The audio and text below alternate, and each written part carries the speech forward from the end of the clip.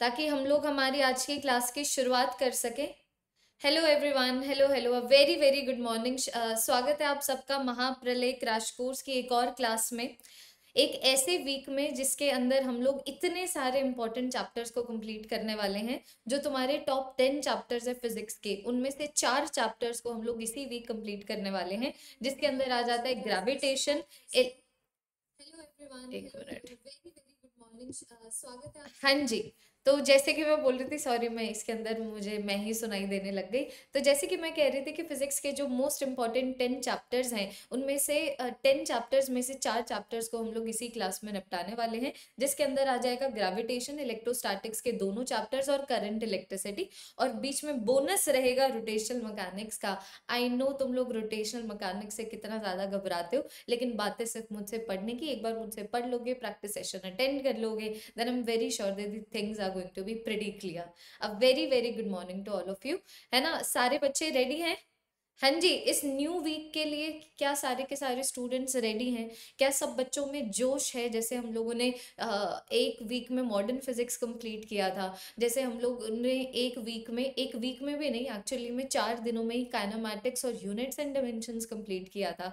जैसे हम लोग ऑप्टिक्स कर चुके हैं एनएलएम कर चुके हैं डब्ल्यू कर चुके हैं which is work energy and power क्या सब बच्चों में जोश है कि वो इस पूरे के पूरे वीक में इन पाँच चैप्टर्स को कंप्लीट करें?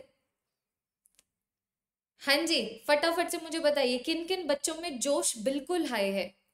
कि दी एक नए वीक की शुरुआत हो रही है और एक नए महीने की भी शुरुआत हो रही है। है ना? ऐसे सबकॉन्शियसली चीज़ें यार ऑब्वियसली बात है, कुछ बैटल्स तो चलती रहती है कि तुम्हारा जो एग्ज़ाम है मे के मंथ में और अप्रैल शुरू हो चुका है। So I am hoping every one realizes कि कितना ज़्यादा इम्पोर्टेंट है अब तुम्हारी हर एक मिनट हर एक घंटा कितना ज़्यादा इंपॉर्टेंट है। है ना? सो आई एम होपिंग तुम लोग उसको मल्टीपल टीचर्स के अंदर नहीं वेस्ट कर रहे हो। एक ही टीचर को चुन लो, उसी एक टीचर से पढ़ लो। हर टीचर को पढ़ाना आता है, लेकिन हर टीचर का प्लान अलग होता है। तो मानो अगर फॉर एग्ज़ाम्पल मेरा कुछ प्लान है है ना? किसी और एडुकेटर का कुछ प्लान है तो मेरे आधे प्लान में आ गए, तुम उन टीचर के आधे प्लान में आ गए। ना मेरा हंड्रेड परसेंट प्लान देख पाए, ना उनका हंड्रेड परसेंट प्लान देख पाए तो जो हंड्रेड परसेंट रिज़ल्ट तुम लोगों को मिलना था, ना यहाँ से मिला, ना वहाँ से मिला। है ना? वैसे ही अगर मैं फिजिक्स केमिस्ट्री बायो की बात करूँ तो ज़्यादा ध्यान सिर्फ़ और सिर्फ़ फिजिक्स में दे दिया, ज़्यादा ध्यान सिर्फ़ और सिर्फ़ बायो में दे दिया, सिर्फ़ और सिर्फ़ केमिस्ट्री में दे दिया, ऐसा नहीं करना, सिर्फ़ बच्चों, एक महीना रहता है। मे जब शुरू होगा ना, उसके बाद तुम लोगों को सिर्फ़ और सिर्फ़ मतलब फिर बाद में तुम्हें कोई पढ़ाई नहीं करनी, एक बार मे शुरू हो जाता है। फिर सिर्फ़ और सिर्फ़ mock test short notes mock test short notes mock test short notes तो अब ये अप्रैल आखिरी महीना है, तुम्हारा मार्क्स में इंप्रूवमेंट लाने का, ये आखिरी महीना है तुम लोगों को रिवाइज करने का और जो जो चीज़ें जिन जिन कंसेप्ट जो जो कंसेप्ट अभी तक नहीं इतने ज़्यादा स्ट्रॉन्ग है, उनको स्ट्रॉन्ग करने का, है ना? तो अभी हम लोग इस वीक ये निपटाने वाले हैं। देख लो फटाफट से चैप्टर्स ग्रेविटेशन चैप्टर की शुरुआत करना चाहूँगी। कोई भी बच्चा अगर यहाँ पर नया है my name is Tamanna Chaudhary am physics educator for NEET U G स्वागत है आप सबका महाप्रलय के इस फिजिक्स क्रैश कोर्स में, जिसमें हर एक चैप्टर के ऊपर हम लोग दो क्लासेस लगा रहे हैं। एक तो क्लास होती है सुबह सात बजे, जैसे कि ये वाली हो रही है कंसेप्चुअल अंडरस्टैंडिंग के लिए, ताकि जो कंसेप्ट हम लोगों ने समझे है ना फाइनली हम लोग फिर दोपहर को तीन बजे मिले और क्वेश्चन की फॉर्मेट में हम लोग ये जान ले कि भाई ठीक है कंसेप्ट जान तो लिए। अब आउट टॉप बुक्स में से जो टॉप क्वेश्चन आ रहे हैं, उनमें इन कंसेप्ट को अप्लाई करें। क्योंकि अगर मानो जहाँ से एनटीए तुम्हारा एग्ज़ाम एग्जामिनेशन पेपर बनाती है, अगर तुम उस सोर्स के ही सारे क्वेश्चंस कर लेते हो तो फिर बचता क्या है? है ना? तो यही हमारा इंटेंशन है कि कंसेप्चुअल क्लैरिटी के ऊपर तो फोकस करी, लेकिन क्वेश्चन सॉल्विंग एबिलिटी के ऊपर भी फोकस करें। फिर हर आ, आ, हर संडे को 12 बजे तुम्हारा अड्डा टू फोर सेवन के फ्री आपके ऊपर टेस्ट होता है। जितने भी डीपीपीज है बच्चों वो सारी की सारी तुम लोग को इस टेलीग्राम चैनल के ऊपर मिल जाएगी। डीपीपीज भी मिल जाएँगी क्लास के पीडीएफ्स वगैरह भी मिल जाएँगे। ठीक है? तो शुरू करते हैं। हम लोग हमारी आज की इस क्लास को, ठीक है बच्चों? देख लो क्या क्या हम लोग करने वाले केपलर्स लॉ करने वाले हैं। केपलर्स लॉ के बाद हम लोग ग्रेविटेशनल फोर्स के बारे में पढ़ेंगे। जितने भी यूनिट्स एंड डिमेंशंस हैं, फिर ग्रेविटेशनल एक्सेलरेशन के बारे में हम लोग बात करेंगे। फिर हम लोग बात करेंगे बच्चों ग्रेविटेशनल इंटेंसिटी के बारे में। फिर ग्रेविटेशनल पोटेंशियल एनर्जी के बारे में। फिर ग्रेविटेशनल पोटेंशियल के बारे में। फिर हम लोग बात करेंगे एस्केप वेलोसिटी के बारे में इंटरस्टेलर वेलोसिटी के बारे में और अल्टीमेटली हम लोग बात करने वाले हैं ऑर्बिटल वेलोसिटी के बारे में।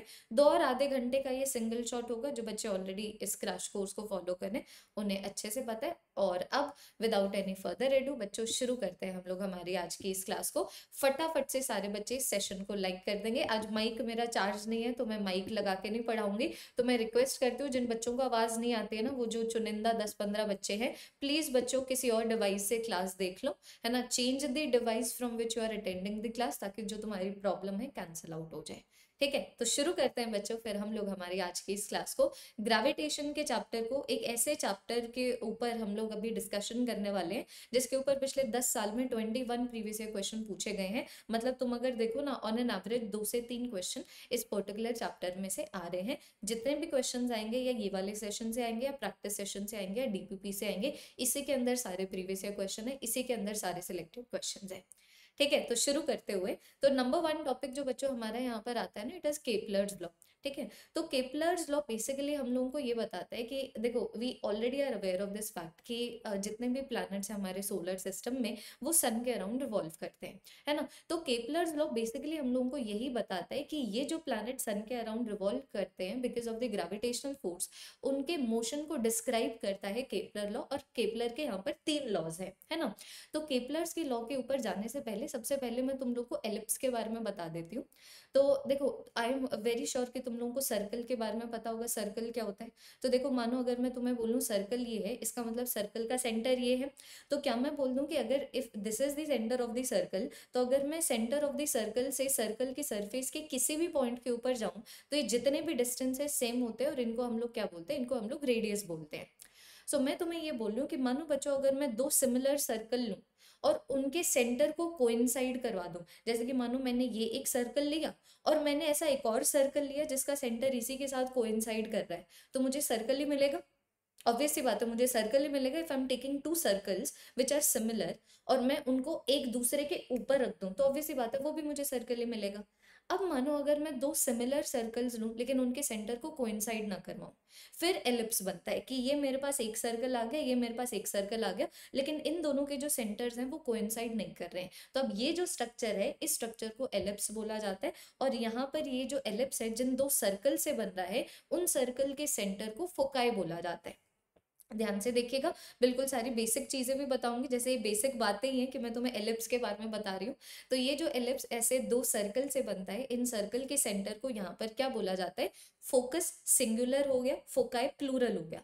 क्योंकि यहाँ पर दो फोकस है इसीलिए इसको हम लोग दो फोकाई बोलते हैं, because foci is a plural term. ठीक है? अब मैं यहाँ पर तुम्हें बोल रही हूँ एक तो ये आ गया कि तुम्हें समझ आ जाना चाहिए, सर्कल का एक सेंटर होता है, लेकिन एक एलिप्स के दो फोकाई होते हैं। दूसरी चीज़ यहाँ पर ये आती है कि अभी मानो ये जो मेरे पास ग्रीन स्ट्रक्चर बन रहा है that is ellipse which is made up of two circles है ना? अब मैं तुम्हें बोल रही हूँ कि मानो अगर मैं इस एलिप्स को दो इक्वल हिस्सों में डिवाइड करना चाहूँ तो ऑब्वियसली बात है, या तो मैं दो इक्वल हिस्सों में डिवाइड करूँगी ऐसे, या फिर मैं दो इक्वल हिस्सों में डिवाइड करूँगी ऐसे। तो तुम देख पा रहे हो, एक लाइन बड़ी है, दूसरी लाइन छोटी है। हमारे सर्कल के साथ ऐसा नहीं होना था। मानो अगर ये मेरा सर्कल होता, है ना? मानो अगर ये मेरे पास सर्कल होता तो भाई चाहे मैं इसको ऐसे डिवाइड करते, ये भी डायमीटर आता which is two times the radius चाहे मैं ऐसे डिवाइड करते, वो भी डायमीटर आता which is two times the radius but now this is not a circle this is an ellipse which is made up of two circles तो एक line मुझे छोटी दिख रही है, एक लाइन मुझे बड़ी दिख रही है। तो मैं तुम्हें बोल रही हूँ कि ये जो छोटी लाइन है ना ये जो छोटी लाइन है, बस इसी को माइनर एक्सेस बोला जाता है। फटाफट से देख लो, ये जो छोटी लाइन है, इसको माइनर एक्सेस बोला जाता है विच इज़ ये वाली लाइन और ये जो बड़ी वाली लाइन तुम लोग देख पा रहे हो, इसको मेजर एक्सेस बोला जाता है। अब देखो, अगर किसी बच्चे को सर्कल का मतलब पता है तो सेमी सर्कल का तो पता ही होगा। सेमी सर्कल का मतलब आधा सर्कल उसी तरीके से मैं तुम्हें बोल रही कि ये जो मेरी माइनर एक्सेस है तो आधी माइनर एक्सेस लूँ तो वो सेमी माइनर एक्सेस होता है। जैसे कि ये मेरी सेमी माइनर एक्सेस हो गई, ये मेरी सेमी माइनर एक्सेस हो गई। उसी तरीके से अगर मैं मेजर एक्सेस का आधा करूँ तो वो मेरा सेमी मेजर एक्सेस होता है। जैसे कि ये मेरे पास सेमी मेजर एक्सेस हो गया, ये मेरे पास सेमी मेजर एक्सेस हो गया। तो जो रीज़न जिसकी वजह से मैं तुम लोग को एलिप्स के बारे में पढ़ा रही हूँ, क्योंकि यहाँ पर टर्म आते हैं। जैसे कि अगर मानो मैं केपलर के पहले लॉ की बात करूँ, जिसको लॉ ऑफ़ ऑर्बिट बोला जाता है तो लॉ ऑफ़ ऑर्बिट यही बोलता है कि जो प्लैनेट्स हैं, वो सन के अराउंड जो सन के अराउंड रिवॉल्व करते हैं सर्कुलर ऑर्बिट में नहीं करते इलिप्टिकल ऑर्बिट में करते हैं। और ये ऐसे रिवॉल्व करते हैं such that the sun is located at one of the foci तो तुम्हें समझ ही नहीं आएगा इसका मतलब अगर एलिप्स नहीं आता है, क्योंकि फुकाई का तुम्हें you don't know what is a foci. So now hoping I am that this is extremely clear to all of you कि लॉ ऑफ़ ऑर्बिट क्या बोलता है। कि अगर मानो जो प्लैनेट्स हैं, वो रिवॉल्व कर रहे हैं सन के अराउंड तो इलिप्टिकल ऑर्बिट में करेंगे और उस इलिप्स के दो फोकाई हैं, उन फोकाई में से किसी एक फोकाई के ऊपर जो हमारे सूरज चाचू हैं, वो यहाँ पर प्रेजेंट होंगे। तो अभी मानो अगर मैं तुम्हें बोलूँ कि यहाँ पर जो प्लानट है, इस इलिप्टिकल ऑर्बिट में घूम रहा है, ये मेरा प्लानट है, ये एक फोकाई आ गया, ये दूसरा फोकाई आ गया। तो मैं तुम्हें बोलूँ कि मानो जो सन है, वो यहाँ पर प्रेजेंट है। सो तुम लोगों की अंडरस्टैंडिंग होनी चाहिए। इसका मतलब अगर प्लानट यहाँ पर है तो वो सन से सबसे ज़्यादा पास में मतलब ये वाला जो डिस्टेंस है, वो सबसे ज़्यादा छोटा है। क्योंकि तुम देखो ना सर्कल में ऐसे होता है कि मैं सेंटर से सरफेस के किसी भी पॉइंट के ऊपर जाऊँ, सारे के सारे इक्वल डिस्टेंस है which is the radius ellipse में ऑब्वियस सी बात है, ऐसा नहीं होगा। ये डिस्टेंस अलग है, ये डिस्टेंस अलग है, ये डिस्टेंस अलग है, ये डिस्टेंस अलग है, ये डिस्टेंस अलग है, ये सारे के सारे डिस्टेंसेज अलग हैं। तो मैं तुम्हें बता रही हूँ, याद रखना कि अगर मानो फॉर एग्ज़ाम्पल सन यहाँ पर है तो ये वाला डिस्टेंस मिनिमम होने वाला है और ये वाला जो डिस्टेंस है मैक्सिमम होने वाला है। सो आई कैन से कि जब प्लानट यहाँ पर है तो मैं बोल सकती हूँ कि वो सन के सबसे ज़्यादा करीब है, जब गर्मियाँ होती हैं। जब गर्मी का पीक टाइम होता है दैट इज़ बिकॉज़ जो हमारा अर्थ है, वो यहाँ पर है सन के बिल्कुल ज़्यादा करीब है। और उसी तरीके से मानो अगर प्लानट यहाँ पर हो, तब बिल्कुल पीक ठंडी चल रही होती है बिकॉज़ यहाँ पर हम, हमारा जो अर्थ है, वो सन के सबसे ज़्यादा दूर है, जिसको इंग्लिश में फारदेस्ट बोला जाता है। तो आई कैन से कि यहाँ पर प्लानट सन के सबसे ज़्यादा पास में, यहाँ पर प्लानट सन के सबसे ज़्यादा दूर है। So this is the law of orbits ठीक है? अब अगर मानो मैं दूसरे लॉ के ऊपर आऊँ तो दूसरा लॉ आता है लॉ ऑफ़ एरियाज़ तो लॉ ऑफ़ एरियाज़ ये बोलता है कि भाई जब प्लैनेट सन के अराउंड रिवॉल्व कर रहा होता है ना तो एंगुलर मोमेंटम जो प्लैनेट का है, वो सेम होता है. अब आई नो मैं कल तुम लोगों को रोटेशनल मैकेनिक्स कराने वाली हूँ तो तुम लोगों को ज़्यादा एंगुलर मोमेंटम के बारे में नहीं पता होगा, लेकिन अगर तुम इलेवेंथ पास भी हो ना है ना इलेवेंथ पास भी हो तो तुम लोगों ने सुना होगा, कभी भी कोई भी चीज़ अगर एक पर्टिकुलर एक्सेस के अबाउट रिवॉल्व करते हैं ना तो उसका एंगुलर मोमेंटम होता है एम कि जैसे कि मानो मैं तुम्हें बोलूँ कि ये मेरे पास एम मास है, इस एक्सेस के अबाउट रिवॉल्व कर रहा है, इसकी वी की वेलोसिटी है आर का इस डिस्टेंस है from the axis of rotation तो एंगुलर मोमेंटम होता है एमवीआर तो मैं तुम्हें बोल रही हूँ कि जब ये मेरे पास मानो, मैं सिस्टम को प्लानट नहीं मान रही। मैं सिस्टम को मान रही हूँ सन और प्लानट तो अब अगर मैं सिस्टम को सन सन और प्लानट मानती हूँ तो ऑब्वियसली बात है, कोई एक्सटर्नल फोर्स तो लगा नहीं है। तो कोई एक्सटर्नल फोर्स नहीं लगेगा तो लीनियर मोमेंटम नहीं चेंज होगा। एक्सटर्नल फोर्स नहीं है तो एक्सटर्नल टॉर्क नहीं है। एक्सटर्नल टॉर्क नहीं है तो एंगुलर मोमेंटम भी नहीं चेंज होगा। ये वाली चीज़ बिल्कुल स्किप हुई होगी, ये वाली चीज़ बिल्कुल नहीं समझ आई होगी उन बच्चों को जिनको टॉर्क और एंगुलर मोमेंटम नहीं पता है। बट डोंट वरी कल की क्लास में हम लोग रोटेशनल मैकेनिक्स से करने वाले अभी के लिए रट लो because I can not make this class I can not dedicate fifteen minutes to just explain the torque and angular momentum ऐसा तो है नहीं, एक स्टेटमेंट है स्टेटमेंट बता दूँगी तो एंगुलर मोमेंटम और टॉर्क तुम्हें क्लियर हो जाएगा तो अभी के लिए एज इट इज़ याद रखो। तो मैं तुम्हें बोल रही हूँ, अगर मैं सिस्टम में सन और प्लैनेट दोनों को ले लूँ तो कोई एक्सटर्नल फोर्स नहीं है, कोई एक्सटर्नल टॉर्क नहीं है तो एंगुलर मोमेंटम नहीं चेंज होगा। अब एंगुलर मोमेंटम नहीं चेंज होगा। इसका मतलब ये कि मानो मैं दो पोजीशन ले लूँ प्लानट की। एक पोजीशन प्लैनेट की मैं ये ले लूँ, दूसरी पोजीशन प्लानट की मैं ये ले लूँ। यहाँ पर ये सन से इतने डिस्टेंस के ऊपर है, यहाँ पर ये सन से इतने डिस्टेंस के ऊपर है। यहाँ पर इसकी वेलोसिटी वी ए है, यहाँ पर इसकी वेलोसिटी वी बी है। तो मैं बोल रही हूँ कि जो प्लानट का एंगुलर मोमेंटम यहाँ पर है, वही प्लानट का एंगुलर मोमेंटम यहाँ पर है। मतलब यहाँ पर अगर एंगुलर मोमेंटम है M V A R A और यहाँ पर एंगुलर मोमेंटम है, अगर M V B R B तो दोनों सेम है। तो क्या मैं बोल दूँ, इसका मतलब ये है कि मास ऑफ़ द प्लानट तो ऑब्वियसली बात है प्लानट चाहे अपने ऑर्बिट के किसी भी पॉइंट के ऊपर उसका मास तो इतना ही है। तो अगर मैं बोल रही हूँ कि प्लानट के लिए एम वी आर की वैल्यू कांस्टेंट रहेगी उसके ऑर्बिट में तो मास तो वैसे ही कांस्टेंट है ना। इसका मतलब क्या? इसका मतलब वी आर की वैल्यू सेम रहने वाली है। कि अगर मानो यहाँ पर वेलोसिटी वी ए है और distance from the sun R A है यहाँ पर अगर वेलोसिटी वी बी है और डिस्टेंस फ्रॉम द सन मेरे पास आर बी है तो मैं बोल रही हूँ that V A R A it is going to be V B R B बहुत ही ज़्यादा ईजी टॉपिक है। बिल्कुल डायरेक्ट क्वेश्चन पूछे जाते हैं। जैसे कि मानो मैं तुम्हें ये क्वेश्चन दूँ कि भाई मेरे पास ना यहाँ पर सन है और प्लानट उसके अराउंड एक इलेप्टिकल ऑर्बिट में घूम रहा है। तो मानो मैं तुम्हें बोलूँ कि यार, जब प्लानट का डिस्टेंस सन से आ रहा है ना, उसकी वेलोसिटी पाँच मीटर पर सेकेंड है। तो बताओ उसकी वेलोसिटी कितनी होगी जब वो सन से टू आर के डिस्टेंस के ऊपर है। तो मैं तुम्हें बोल रही हूँ कि ये जो हमारा सेकेंड लॉ है, जिसको लॉ ऑफ़ एरियाज़ बोला जाता है this is based on the conservation of angular momentum कि भाई देखो प्लानट का पहले जो एंगुलर मोमेंटम था सन के अबाउट चाहे उसकी पोजिशन ये हो, या फिर जो प्लानट का एंगुलर मोमेंटम है सन के अबाउट जब उसकी पोजिशन ये है, वो एंगुलर मोमेंटम सेम है। एम वी आर सेम है तो मास तो वैसे भी नहीं चेंज हो रहा ना। इसका मतलब तुम समझ गए कि हमारा जो लॉ ऑफ़ एरियाज़ है, वो बोलता है कि वी आर की वैल्यू एक प्लानट के लिए, एक पर्टिकुलर ऑर्बिट के लिए कॉन्स्टेंट रहेगी। तो अगर मानू मैं इसको पहली पोजिशन मानू और इसको मैं दूसरी पोजिशन मानू तो मैं बोल दूँगी that V one R one it is equal to V two R two तो मानो अगर पहले पहले वाले पॉइंट के ऊपर वेलोसिटी पाँच मीटर पर सेकेंड है, पहले वाले पॉइंट का जो डिस्टेंस है सन से अगर वो आर है then that is going to be equal to second वाले पॉइंट के ऊपर वेलोसिटी कितनी है मल्टीप्लाइड बाय सेकेंड वाले पॉइंट का जो डिस्टेंस है सन से कितना है। तो तुम लोग देख पा रहे हो वी टू की वैल्यू कितनी आ गई two point five metre per second ऐसे प्रीवियस ईयर क्वेश्चन है। सो ये मेरे पास वी टू की वैल्यू कितनी आ गई? Two point five metre per second not very difficult to understand this तो ये तो हो गया बच्चों एक तरीका देखने का। जैसे कि यहाँ पर if I have to say कि भाई फोर्स हो जाता है rate at which the momentum is changing फिर उसको मैं ऐसे भी तो लिख सकती हूँ ना। तो बेसिकली मुखौटे बदल बदल रहे इंसान तो सेम ही है। देखो कि मुखौटे बदल रहे हैं, लेकिन इंसान तो सेम ही है कि मैंने अलग अलग तरीके से एक इक्वेशन को लिख दिया, लेकिन इक्वेशन तो सेम ही है। तो मैं तुम्हें ये बोल रही हूँ कि जैसे हमारे पास ये इक्वेशन आ गई लॉ ऑफ़ एरियाज़ की कि भाई कभी भी प्लानट अगर एक ऑर्बिट में रिवॉल्व कर रहा है ना तो किसी भी पॉइंट के ऊपर v मल्टीप्लाइड बाय आर लिख लेना, वो हर एक पॉइंट के v मल्टीप्लाइड बाय आर के से इक्वल होगा, है ना? अब मैं बोल रही हूँ इसको ना लिखने का एक और तरीका जानते हैं। तो मेरे पास वी आर की वैल्यू कॉन्स्टेंट है तो वी आर हो जाता है मेरे पास D X by D T so D X by D T multiplied by R constant है. Distance multiplied by distance area होता है. जैसे कि देखना मैंने क्या बोला, मैं तुम्हें बोल रही हूँ कि मानो ये मेरे पास इस तरीके से आर का डिस्टेंस है. यहाँ पर इस तरीके से छोटी सी डी एक्स की वैल्यू इस बॉडी ने कवर कर ली. तो अगर मैं इन दोनों को मल्टीप्लाई कर दूँगी तो बेसिकली मेरे पास एरिया आ जाएगा.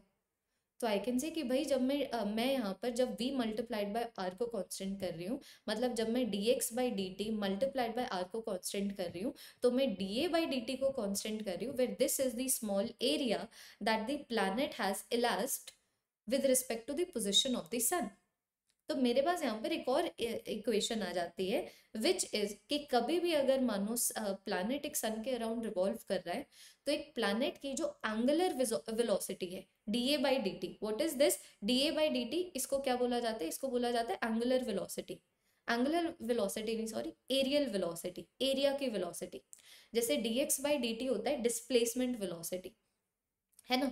तो D A by D T हो गया मेरे पास एरियल वेलोसिटी तो हम यहाँ पर देख पा रहे हैं कि एरियल वेलोसिटी प्लानट की हमेशा सेम रहेगी. तो ये तो हो गया थोड़ा सा मैथमेटिकल टाइप हो गया। अब अब मैं इसको ना विजुअलाइज कराती हूँ। जैसे कि मानो मैं तुम्हें बोलूँ कि भाई मेरे पास एक प्लानट है सन के अराउंड रिवॉल्व कर रहा है, ठीक है? तो मैं तुम्हें बोलूँ कि मानो ये जो प्लानट है ना टी के टाइम में सन की पोजिशन के अबाउट ए का एरिया कवर करता है। और फिर बाद में वो टी टू टाइम में सन की पोजिशन के अबाउट ए टू का एरिया कवर करता है।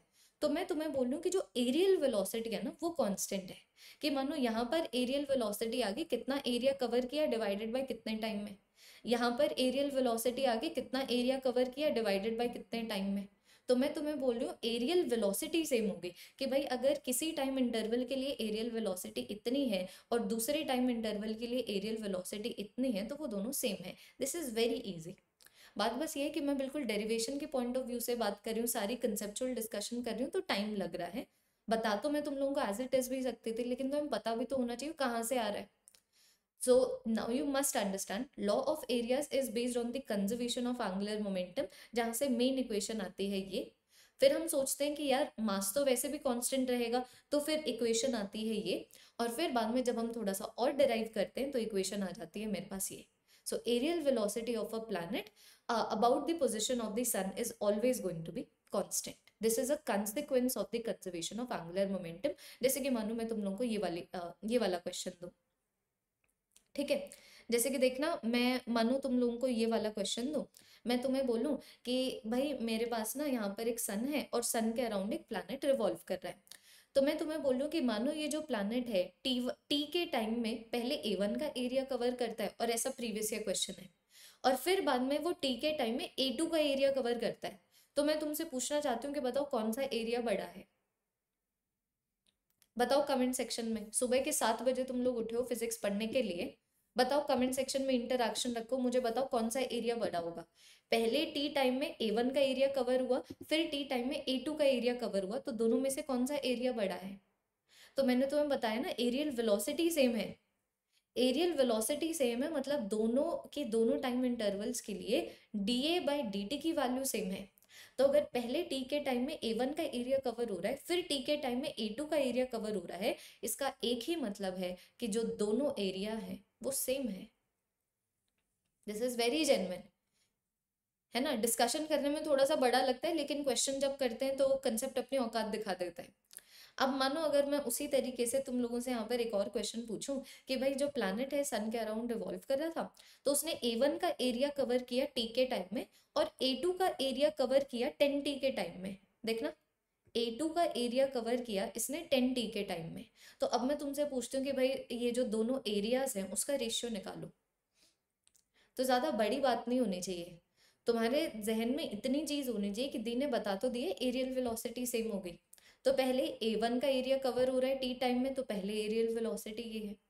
है ना? फिर ए टू का एरिया कवर हो रहा है टेन टी के टाइम में, फिर एरियल वेलोसिटी ये है। तो एरियल वेलोसिटी सेम होगी तो तुम यहाँ पर देख लो, मेरे पास आ गया A one by T it is equal to A two by ten T तो तुम लोग खुद देख लो A one by A two की वैल्यू कितनी आ गई, मेरे पास वन बाई टेन तो ये है मेरा केपलर्स का दूसरा लॉ तो तुम यहाँ पर देख पा रहे हो what is Kepler's law about Kepler's law हमें ये बोल रहा है कि भाई अगर मानो मैं सन के अराउंड जो प्लानिटरी मोशन हो रहा है, अगर मैं उसको स्टडी करूँ तो उसके मोशन तो उसके मोशन से एसोसिएटेड जो सर्टन लॉज हैं, वो क्या है? है ना? तो ऑब्वियसली बात है, अगर मानो मैं तुम्हें बोलूँ कि भाई ये जो डिफरेंट डिफरेंट प्लैनेट्स है सन के अराउंड रिवॉल्व कर रहे हैं तो gravitational force is the reason सबको पता होगा। ग्रेविटेशनल फोर्स ही वो वजह है जिसकी वजह से हम सन के अराउंड रिवॉल्व करते हैं। ग्रेविटेशनल फोर्स ही वो वजह है जिसकी वजह से जो मून है हमारे अराउंड रिवॉल्व करता है। है ना? तो ये हमारे गेपलर्स लॉ है, जिसमें पहला लॉ ऑर्बिट का कैसा शेप है और सन की पोजीशन क्या है, उसके ऊपर फोकस करता है। जो सेकंड लॉ है, वो मोशन ऑफ़ द प्लानट के ऊपर फोकस करता है और अब जो मेरे पास थर्ड लॉ है ना बच्चों, वो टाइम पीरियड के ऊपर फोकस करता है। What is the time period ध्यान से देखना। We all know what is the time period अगर कभी भी कोई भी ऑसिलेटिंग मोशन हो रहा हो या फिर कोई भी सर्कुलर मोशन हो रहा हो या फिर कोई भी पीरियोडिक मोशन हो रहा हो तो टाइम पीरियड होता है कि कितने टाइम के बाद जो मोशन है अपने आप को रिपीट करेगा। फॉर एग्ज़ाम्पल मानो अगर मैं बोलूँ कि एक सर्कुलर मोशन है ऐसे दो सेकंड के बाद बॉडी ने एक सर्कल को कंप्लीट किया, फिर इसने दो सेकंड लगाए, फिर इसने दो सेकंड लगाए, फिर इसने दो सेकंड लगाए। So what is the time period of the circle time period of the circle is the time taken by the body to complete one circular motion this is the time period तो अब अगर मानो मैं बोलूँ कि planet का time period क्या है? तो हमारे अर्थ का टाइम पीरियड कितना है? थ्री सिक्सटी फाइव डेज़ मतलब क्या कि 365 डेज़ में जो हमारा अर्थ है सन के अराउंड पूरा का पूरा एक चक्कर लगा लेता है। है ना? Because we are not talking about the rotation of the earth about its own axis we are not talking about the rotation of the earth we are talking about the rotation of the earth about the position of the sun जिसको revolution of the earth बोला जाता है। है ना? So so, एक साल में 365 days होते हैं। व्हाट इज़ एक साल? Why three sixty five days हम क्यों थ्री सेवेंटी डेज़ को नहीं बोल रहे हैं एक साल?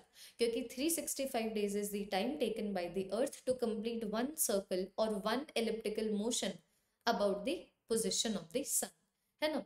तो ऑब्वियसली बात है डिफरेंट डिफरेंट प्लैनेट्स के लिए डिफरेंट डिफरेंट ऑर्बिट्स हैं। है ना? तो डिफरेंट डिफरेंट प्लैनेट्स के लिए डिफरेंट डिफरेंट ऑर्बिट्स हैं तो डिफरेंट डिफरेंट टाइम पीरियड भी होगा।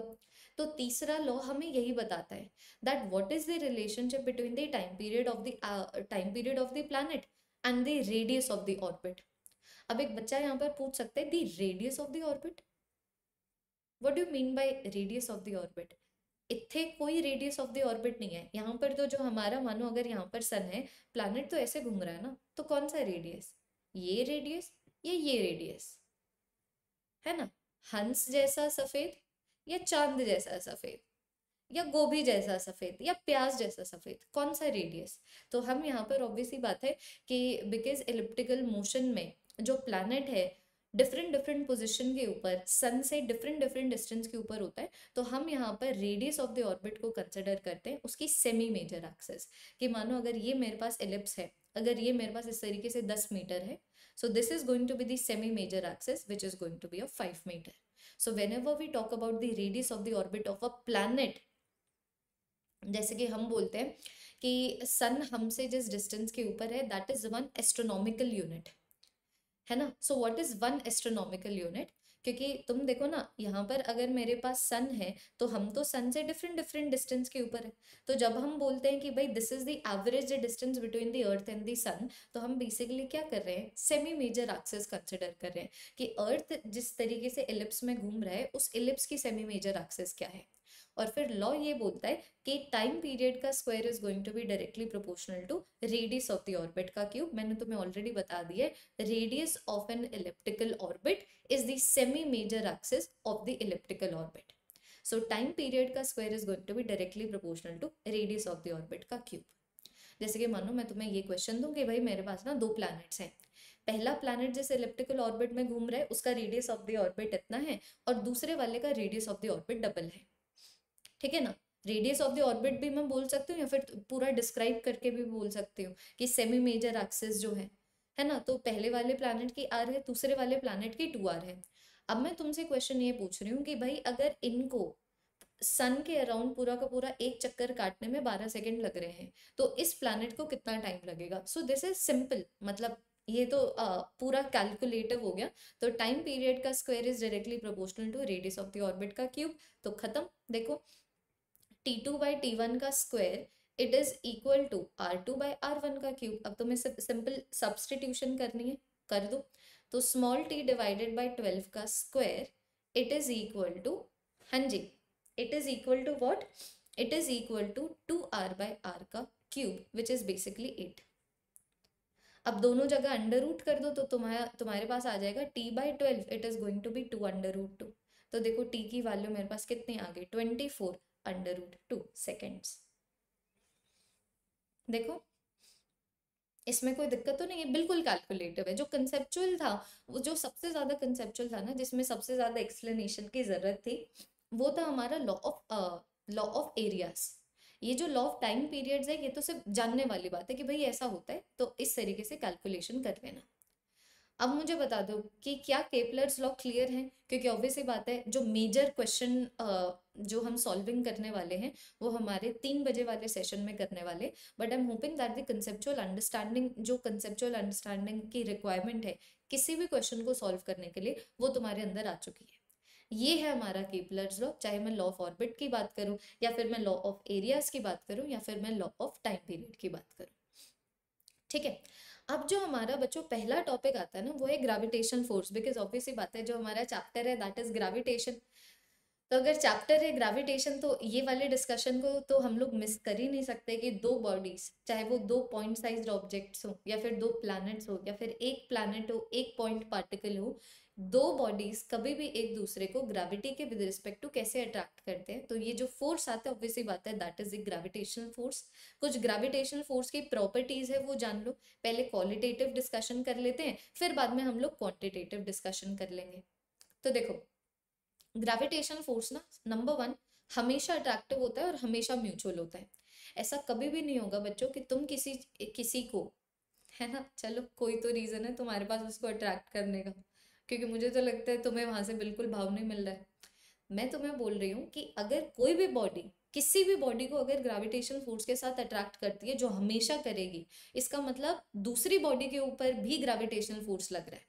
ऐसा नहीं होगा कि एम वन मास जो है एम टू मास को तो अट्रैक्ट कर रहा है ग्रेविटेशनल फोर्स से, लेकिन M two mass M one को अट्रैक्ट नहीं कर पा रहा है। नहीं it is a mutual force it is a mutual force if one body is exerting a gravitational force on the other body then the other body is also exerting the gravitational force on the first body तो number one ये mutual force होगा number two it is always going to be attractive तुम देखो ना, जैसे कि अगर बच्चों में इलेक्ट्रोस्टैटिक फोर्स की बात करूँ तो इलेक्ट्रोस्टैटिक फोर्स भी रिपल्सिव हो जाता है, अगर दो पॉजिटिव चार्जेस हो, दो नेगेटिव चार्जेस हो। न्यूक्लियर चैप्टर भी कंप्लीट कर चुके हैं तो वहाँ पर भी मैंने तुम्हें बताया था कि जो स्ट्रॉन्ग न्यूक्लियर फोर्स है, वो भी रिपल्सिव हो जाता है, जब दो न्यूक्लियॉन्स के बीच में जो डिस्टेंस है, इससे छोटा हो जाए। लेकिन जो ग्रेविटेशनल फोर्स है ना, कट्टर अट्रैक्टिव फोर्स है। कंजर्वेटिव फोर्स है मतलब अगर मानो कभी भी बॉडी ग्रेविटेशनल फोर्स के एक्शन के अंडर मूव कर रही है तो उसकी मैकेनिकल एनर्जी कभी नहीं चेंज होगी, है ना? तो अगर ग्रेविटेशनल फोर्स के साथ मूव कर रही है, जैसे मानो ये सेब है, सेब के ऊपर ग्रेविटेशनल फोर्स नीचे लग रहा है और ये मूव भी नीचे कर रहा है तो ऑब्वियस ही बात है काइनेटिक एनर्जी बढ़ जाएगी पोटेंशियल एनर्जी कम हो जाएगी। मानो अगर ग्रेविटेशनल फोर्स तो नीचे लग रहा है, लेकिन बॉडी ग्रेविटेशनल फोर्स के अगेंस्ट डिस्प्लेसमेंट शो कर रही है। है ना? तो ऐसे सिनारियों में ऑब्वियसली बात है बॉडी की काइनेटिक एनर्जी कम हो जाएगी पोटेंशियल एनर्जी बढ़ जाएगी। लेकिन मैकेनिकल एनर्जी की बात करूँ मैकेनिकल एनर्जी हमेशा सेम रहेगी। तो कभी भी बॉडी ग्रेविटेशनल फोर्स के एक्शन के अंडर मूव करे तो ऐसा कभी नहीं होगा कि उसका जो मैकेनिकल एनर्जी है, वो चेंज हो रहा है। तीसरी चीज़ आ जाती है बच्चों सेंट्रल फोर्स है। सेंट्रल फोर्स का मतलब क्या कि मानो अगर ये एक ऐसी बॉडी है, एक ही ऐसी बॉडी है। मानो अगर एक ये ऐसी बॉडी है और ये ऐसी बॉडी है। मैं तुम्हें बोल रही हूँ कि भाई, दोनों ग्रेविटेशन फोर्स के अबाउट की वजह से अट्रैक्ट कर रहे हैं। तो बातें कैसे अट्रैक्ट कर रहे हैं? ऐसे अट्रैक्ट कर रहे हैं? क्योंकि ये भी अट्रैक्शन है। ऐसे अट्रैक्ट करें कैसे अट्रैक्ट कर रहे हैं? तो तुम क्या करोगे? दोनों बॉडीज के सेंटर को कंसिडर करोगे? कर लिया? तो इसी लाइन के अबाउट दोनों एक दूसरे को अट्रैक्ट करेंगे। So this is the central force हमेशा सेंट्रल लाइन के अबाउट जो फोर्सेस है, वो एक्ट करते हैं और ये इनवर्स स्क्वायर लॉ को ओबे करता है। जैसे इलेक्ट्रोस्टैटिक फोर्स जिसके बारे में हम लोग इसी वीक पढ़ने वाले हैं, बहुत ही सिमिलैरिटी तुम लोगों को नज़र आएगी ये वाले चैप्टर में और इलेक्ट्रोस्टैटिक्स के दोनों चैप्टर्स में।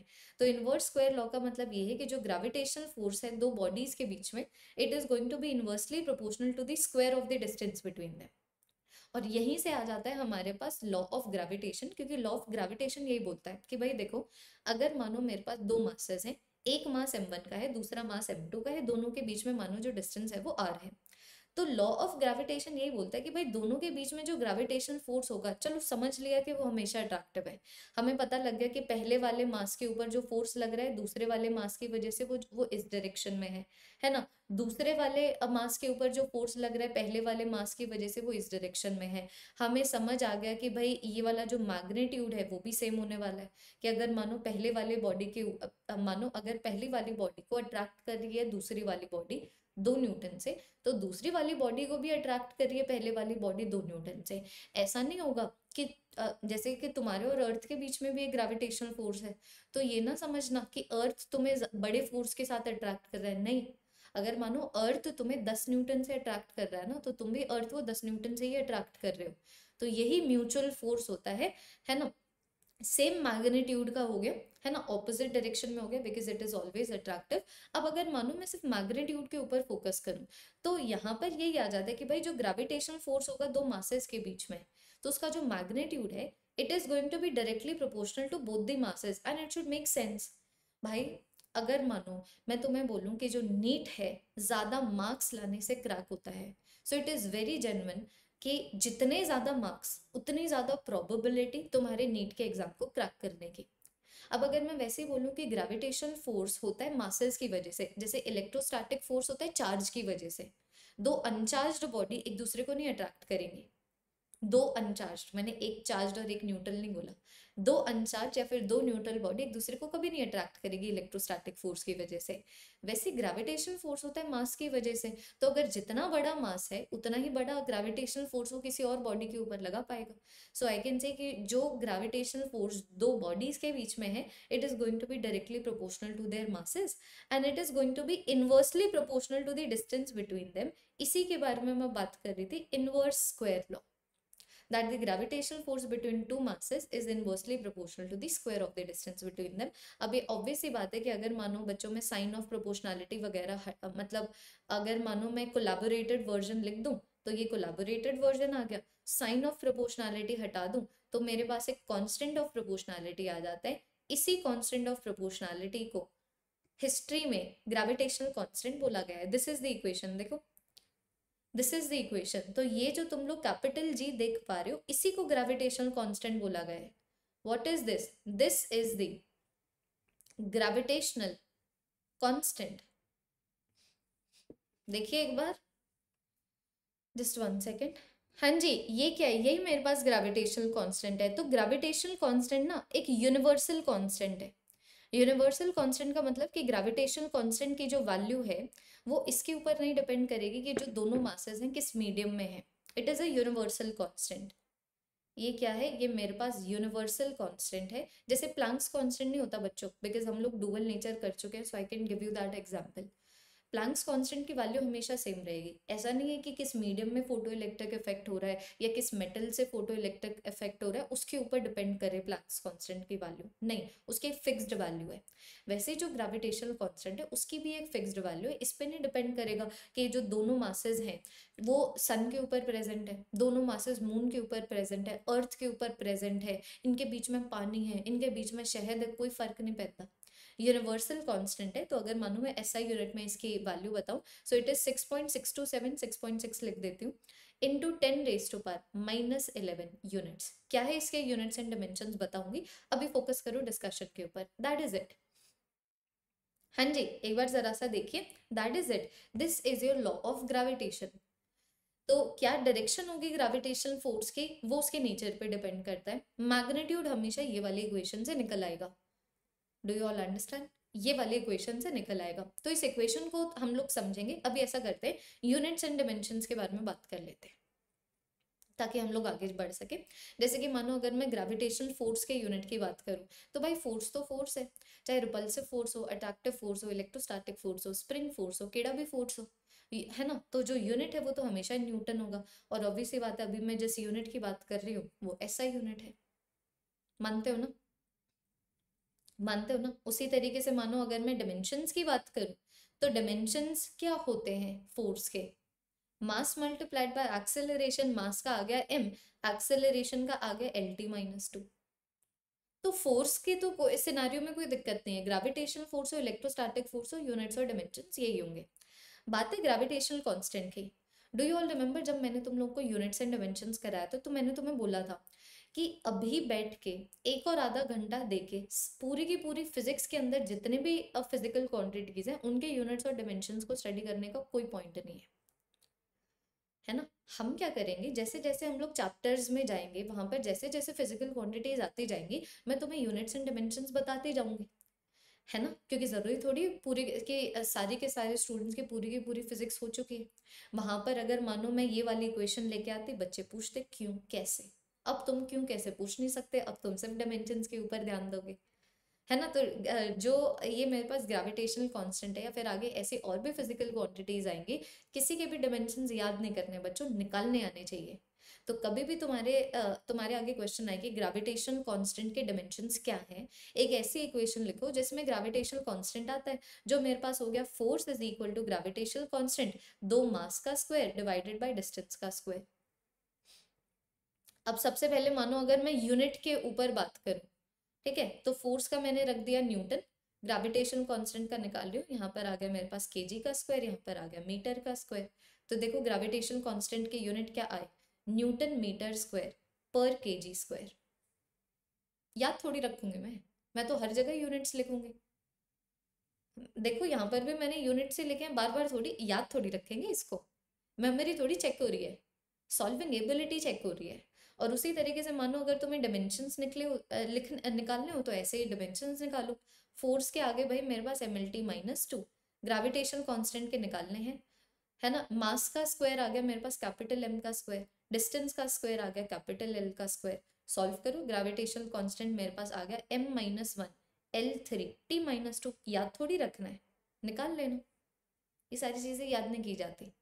ठीक है तो ये मेरे पास आ गया ग्रेविटेशनल कांस्टेंट यूनिवर्सल कांस्टेंट है मतलब no matter what SI unit के टर्म्स में लिखोगे तो मैं यही वाली वैल्यू मिलेगी। सिक्स पॉइंट सेवन भी कर सकते हो, है ना? वट एवर सो हमेशा वैल्यू यही रहेगी और डायमेंशन हम लोगों ने निकाल लिए यूनिट्स हम लोगों ने यहाँ पर निकाल लिए।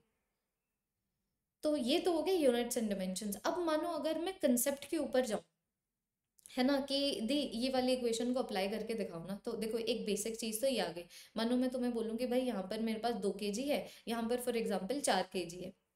मैं तुम्हें बोलूँ, अगर दोनों के बीच में डिस्टेंस दस मीटर है तो बताओ दोनों के बीच में ग्रेविटेशन फोर्स कितना है? है ना? तो सिंपल इक्वेशन बेस्ड हो गए ना ये तो कि दोनों के बीच में ग्रेविटेशन फोर्स आ जाएगा ग्रेविटेशन कांस्टेंट पहले वाली बॉडी का जो मास है मल्टीप्लाइड बाय दूसरे वाले बॉडी का जो मास है डिवाइडेड बाय दोनों के बीच में जो डिस्टेंस है, उस डिस्टेंस का स्क्वायर है ना? तो दो पॉइंट मासेस के बीच में तो ऐसे निकाल लोगे जैसे यहाँ पर दो पॉइंट मासेस के बीच में निकाला है। लेकिन मैं तुम्हें बोल रही हूँ, हर क्वेश्चन में ना बच्चों पॉइंट मासेस नहीं होंगे। तो मानो, अगर मैं तुम्हें बोलूँ, एक प्लानट है और एक पॉइंट मास है तो तुम्हें क्या करना है? प्लानट के सारे के सारे मास को सेंटर पे कंसंट्रेटेड मान लेना है। कि मानो, अगर मैं तुम्हें बोलूँ, ये कैपिटल एम मास है और मानो कैपिटल एम टू मास है। अब मैं तुम्हें बोलूँ, दोनों के बीच में ग्रेविटेशनल फोर्स लिखो।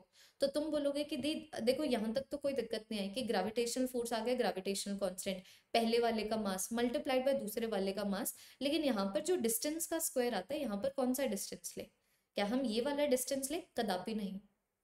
प्लैनेट के मास को सेंटर के ऊपर कंसंट्रेटेड मानो मतलब ये मानो m1 वन यहाँ पर है। तो अब m1 और m2 के बीच में ये वाला डिस्टेंस है, यही डिस्टेंस इस तरीके से यहाँ पर डिनोमिनेटर में जाएगा।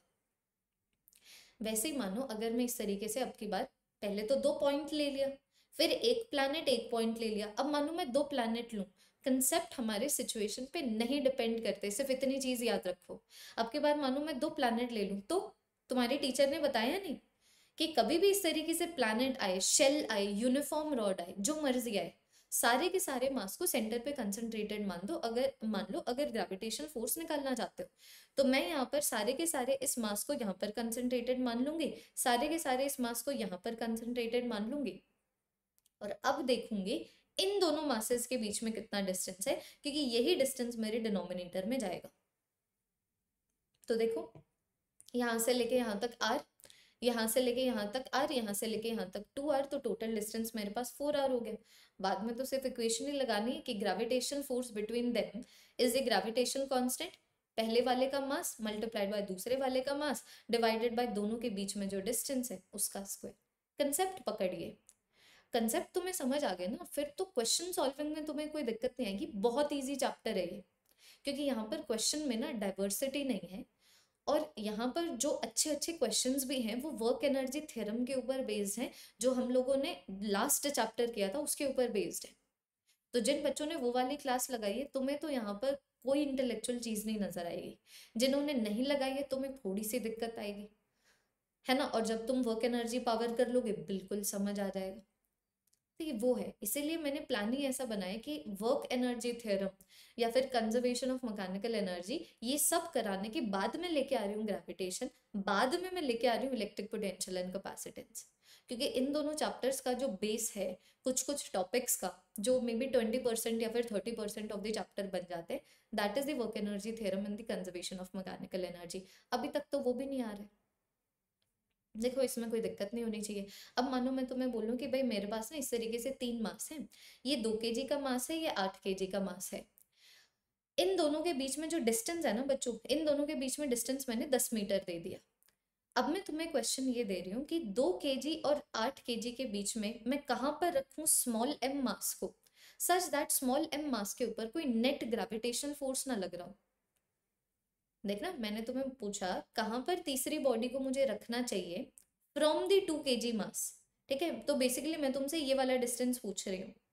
तो मैंने तुमसे पूछा, कहाँ पर मुझे एक इस स्मॉल एम मास को रखना चाहिए, दो के जी के मास के, से?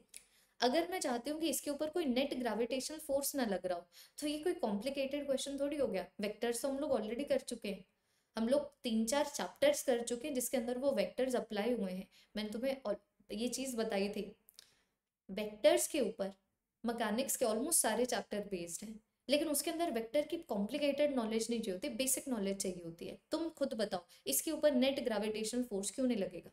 क्योंकि मुझसे तो यही पूछा हुआ है कि दो के जी से कितने डिस्टेंस के ऊपर मैं इस स्मॉल मास को रखूँ, कि इसके ऊपर नेट ग्रेविटेशनल फोर्स न लगे। तो मेरे दिमाग में आएगा ना, क्यों नहीं लगेगा? ऐसे क्वेश्चन करते हैं ना बिना क्वेश्चन करे फिजिक्स होगी कैसे? तो तुम ऐसे क्वेश्चन करोगे क्यों नहीं लगेगा? ये जो दो के जी मास है ये तो अट्रैक्ट कर रहा है इसको। ये देखो दो के जी के मास ने इसको अट्रैक्ट किया। पॉजिटिव नेगेटिव के चक, चक्कर में कभी मत फंसना। मैकेनिक्स में हमेशा डायग्राम की हेल्प से डायरेक्शंस देखो उसके हिसाब से इक्वेशंस लिखो जो मैग्नेट्यूड बेस्ड है। तो मैं देख रही हूँ कि यार ये जो स्मॉल एम मास है इसके ऊपर तो लगेगा। दो के की वजह से फोर्स इस डायरेक्शन में लगेगा। कितने मैग्नीट्यूड का लगेगा? ग्रेविटेशन कांस्टेंट दो के का मास एम का मास दोनों के बीच में जो डिस्टेंस है उसका स्क्वायर फिर तुम बोलोगे कि यार दी, इसके ऊपर जो फोर्स है वो तो आठ के की वजह से भी लग रहा है। आप खुद देखिए ना, इसके ऊपर जो फोर्स है वो तो आठ के की वजह से भी लगेगा। कि दो के की वजह से भी अट्रैक्ट हो रहा है, आठ के की वजह से भी अट्रैक्ट हो रहा है। तो आठ के की वजह से कितने फोर्स के साथ अट्रैक्ट हो रहा है? देखो ग्रेविटेशन कांस्टेंट, आठ के का मास एम का मास डिवाइडेड बाय दोनों के बीच में जो डिस्टेंस है, उसका स्क्वायर तो दोनों के बीच में डिस्टेंस आया मेरे पास टेन माइनस आर तुम देखो ना, ये पूरा का पूरा टेन है।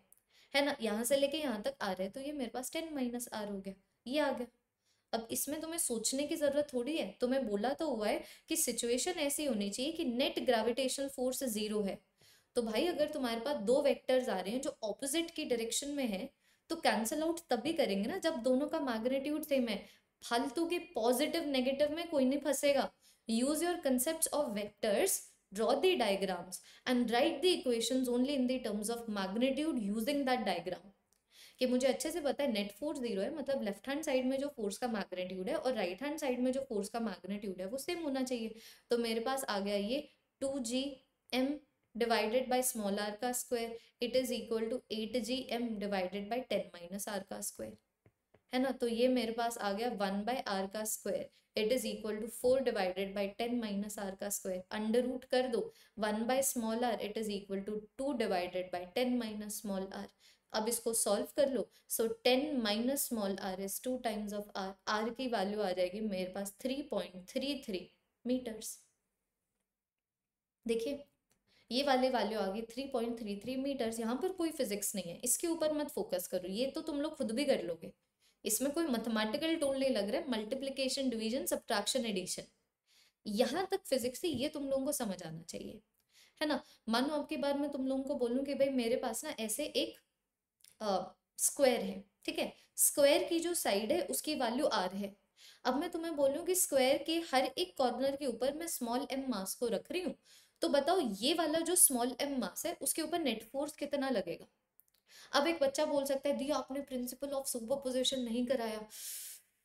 प्रिंसिपल ऑफ़ सुपर पोजिशन कराने का ना, मेरा कभी दिल नहीं करता। बताओ प्रिंसिपल ऑफ़ सुपर पोजिशन क्या बोलता है?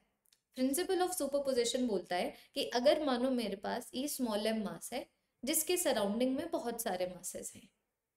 तो प्रिंसिपल ऑफ़ सुपर पोजिशन ये बोलता है कि इसके ऊपर जो नेट फोर्स होगा वो निकालने के लिए आप इंडिविजुअल फोर्सेस निकालिए और उन इंडिविजुअल फोर्सेस को वेक्टोरियल के लिए ऐड कीजिए। इसके लिए हमें कोई प्रिंसिपल की थोड़ी ज़रूरत है। फिर हम लोगों ने काइनामेटिक्स में क्या मत्थे मारे हैं? वेक्टर्स में हम लोगों ने क्या मत्थे मारे हैं फिर? वी ऑलरेडी नो दिस कि भाई फोर्सेस को ऐसे ही ऐड किया जाता है। हमें कोई प्रिंसिपल की थोड़ी ज़रूरत है। जब तक एक वेक्टर है, उसके नाम पे चैप्टर के ऊपर, उसके नेचर के ऊपर यूनिट्स के ऊपर डायमेंशन के ऊपर, इन सब पे थोड़ी डिपेंड करेगा कि वेक्टर को ऐड कैसे किया जाता है। इसीलिए मैंने प्रिंसिपल ऑफ़ सुपरपोजिशन कराया ही नहीं। तो इसका मतलब ये थोड़ी कंसेप्ट नहीं कराया। इंग्लिश नहीं बताई तुम्हें। और ये लोग वर्बली बता दी। तो तुम्हें बोला जा रहा है कि इसके ऊपर नेट फोर्स लगाओ। तो प्रिंसिपल ऑफ़ सुपरपोजिशन बोलता है, इसके ऊपर नेट फोर्स निकालने के लिए सबसे पहले इंडिविजुअल फोर्सेस निकालिए और फिर बाद में उन इंडिविजुअल फोर्सेस को विक्टोरिकली ऐड कर दीजिए। मैं बोल रही हूँ इंग्लिश का टर्म में नहीं भी बताती तो भी तुम इसको सॉल्व कर पाते। तो अगर तुमसे पूछा जाए, इसके ऊपर नेट फोर्स निकालो तो सबसे पहले क्या करोगे? इंडिविजुअल फोर्सेस निकालोगे, फिर विक्टोरिकल ऐड कर दोगे। तो तुम बोलोगे कि, दी, देखो, ये वाली जो बॉडी है ना, ये तीन बॉडीज की वजह से अट्रैक्ट हो रही है। एक ये वाली बॉडी की वजह से अट्रैक्ट हो रही है, एक ये वाली बॉडी की वजह से अट्रैक्ट हो रही है और एक ये वाली बॉडी की वजह से अट्रैक्ट हो रही है। तो अगर आप हमसे पूछते हैं, इसके ऊपर नेट ग्रेविटेशनल फोर्स कितना है, रुको दी। हम पहले इंडिविजुअल फोर्सेस तो निकाल लें। कि सबसे पहले देखो इसके ऊपर फोर्स लग रहा है ये ग्रीन वाली बॉडी की वजह से। कितने मैग्नेट्यूड का लग रहा है? और निकालते हैं। तो ग्रेविटेशनल कांस्टेंट यहाँ पर जो बॉडी रखी हुई, उसका मास भी एम ही है है ना? ग्रेविटेशनल कांस्टेंट पहले वाले का मास दूसरे वाले का मास दोनों के बीच में जो डिस्टेंस है उसका स्क्वायर मानो मैं इसको कैपिटल एफ़ मान लू। मैंने इसको अज्यूम कर लिया कि भाई अपने कैलकुलेशन को इजी करने के लिए, जब भी ये आएगा ना, मैं उसको कैपिटल एफ़ की तरह लिखूँगी। फिर ये जो मेरे पास ब्लू वाला मास है, तुम देखो, ये भी इसको ऐसे अट्रैक्ट कर रहा है।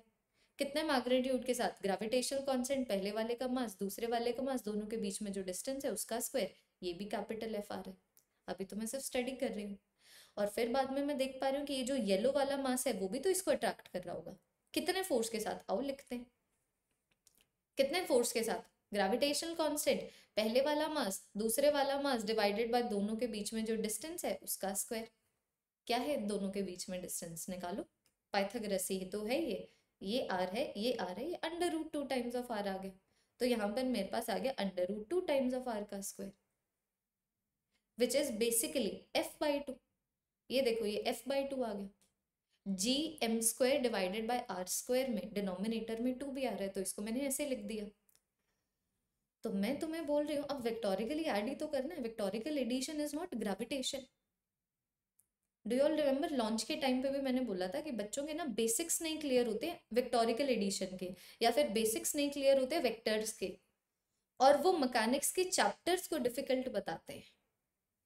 अब आपको वेक्टोरिकली ऐड ही तो करना है तो तीन चीज़ों को कैसे ऐड करोगे? पहले दो चीज़ों को ऐड करो, है ना? तो मानो मैं सबसे पहले इन दोनों को ऐड कर दूँ तो इन दोनों को ऐड कर दूँ तो मुझे अच्छे से पता है इस डायरेक्शन में आ जाएगा under root two times of F तो तुम देख पा रहे हो एक तो इस डायरेक्शन में आ गया मेरे पास एफ़ बाई टू एक मेरे पास इस डायरेक्शन में आ गया under root two times of under root sorry एक मेरे पास इस डायरेक्शन uh, में आ गया अंडर रूट टू एफ़ देखो चौथा uh, या फिर पांचवा चैप्टर है जिसमें वेक्टर्स लग रहे हैं विक्टोरिकल एडिशन के बेसिक्स में नहीं जाऊँगी अब बेसिक्स करा के चार चैप्टर्स करवा दिए अब करो ऐड तो ये आ गया मेरे पास नेट फोर्स नेट फोर्स की वैल्यू कितनी आई? नेट फोर्स की वैल्यू आ गई F by two plus under root two times of F अब एफ़ तो तुम लोगों ने इमेजिनरी लिया था तो एफ़ को अच्छे से सब्सटीट्यूट कर दो।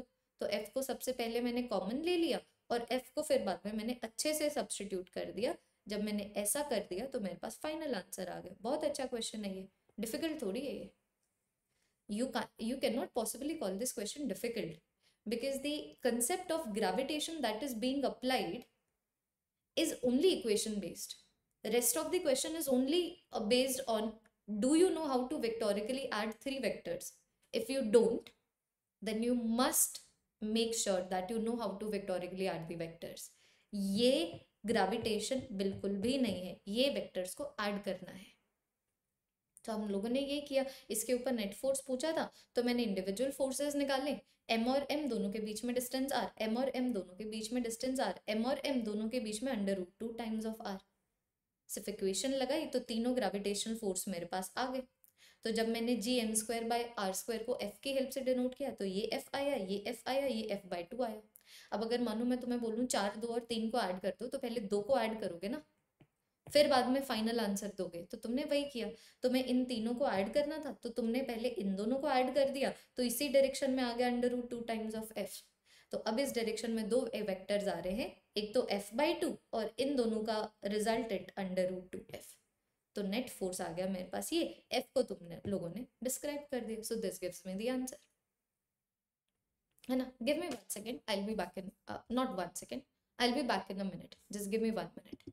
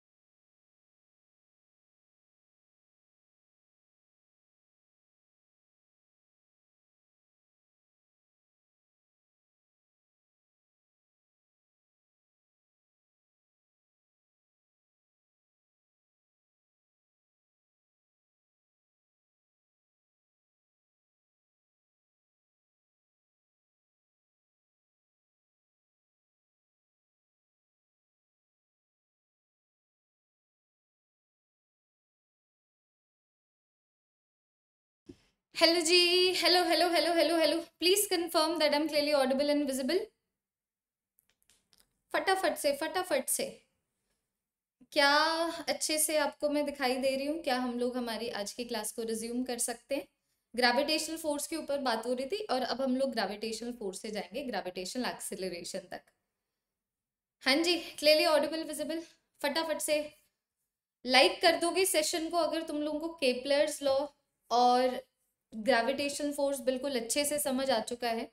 और अब हम लोग कंटिन्यू करते हैं और हमारे नेक्स्ट टॉपिक के ऊपर चलते हैं बच्चों, जो कि है ग्रेविटेशन एक्सेलरेशन तो मैं तुम्हें ये बोल रही हूँ, हम लोगों ने इतनी मेहनत कर ली ये समझने के लिए कि force is equal to mass into acceleration कैसे निकालते हैं।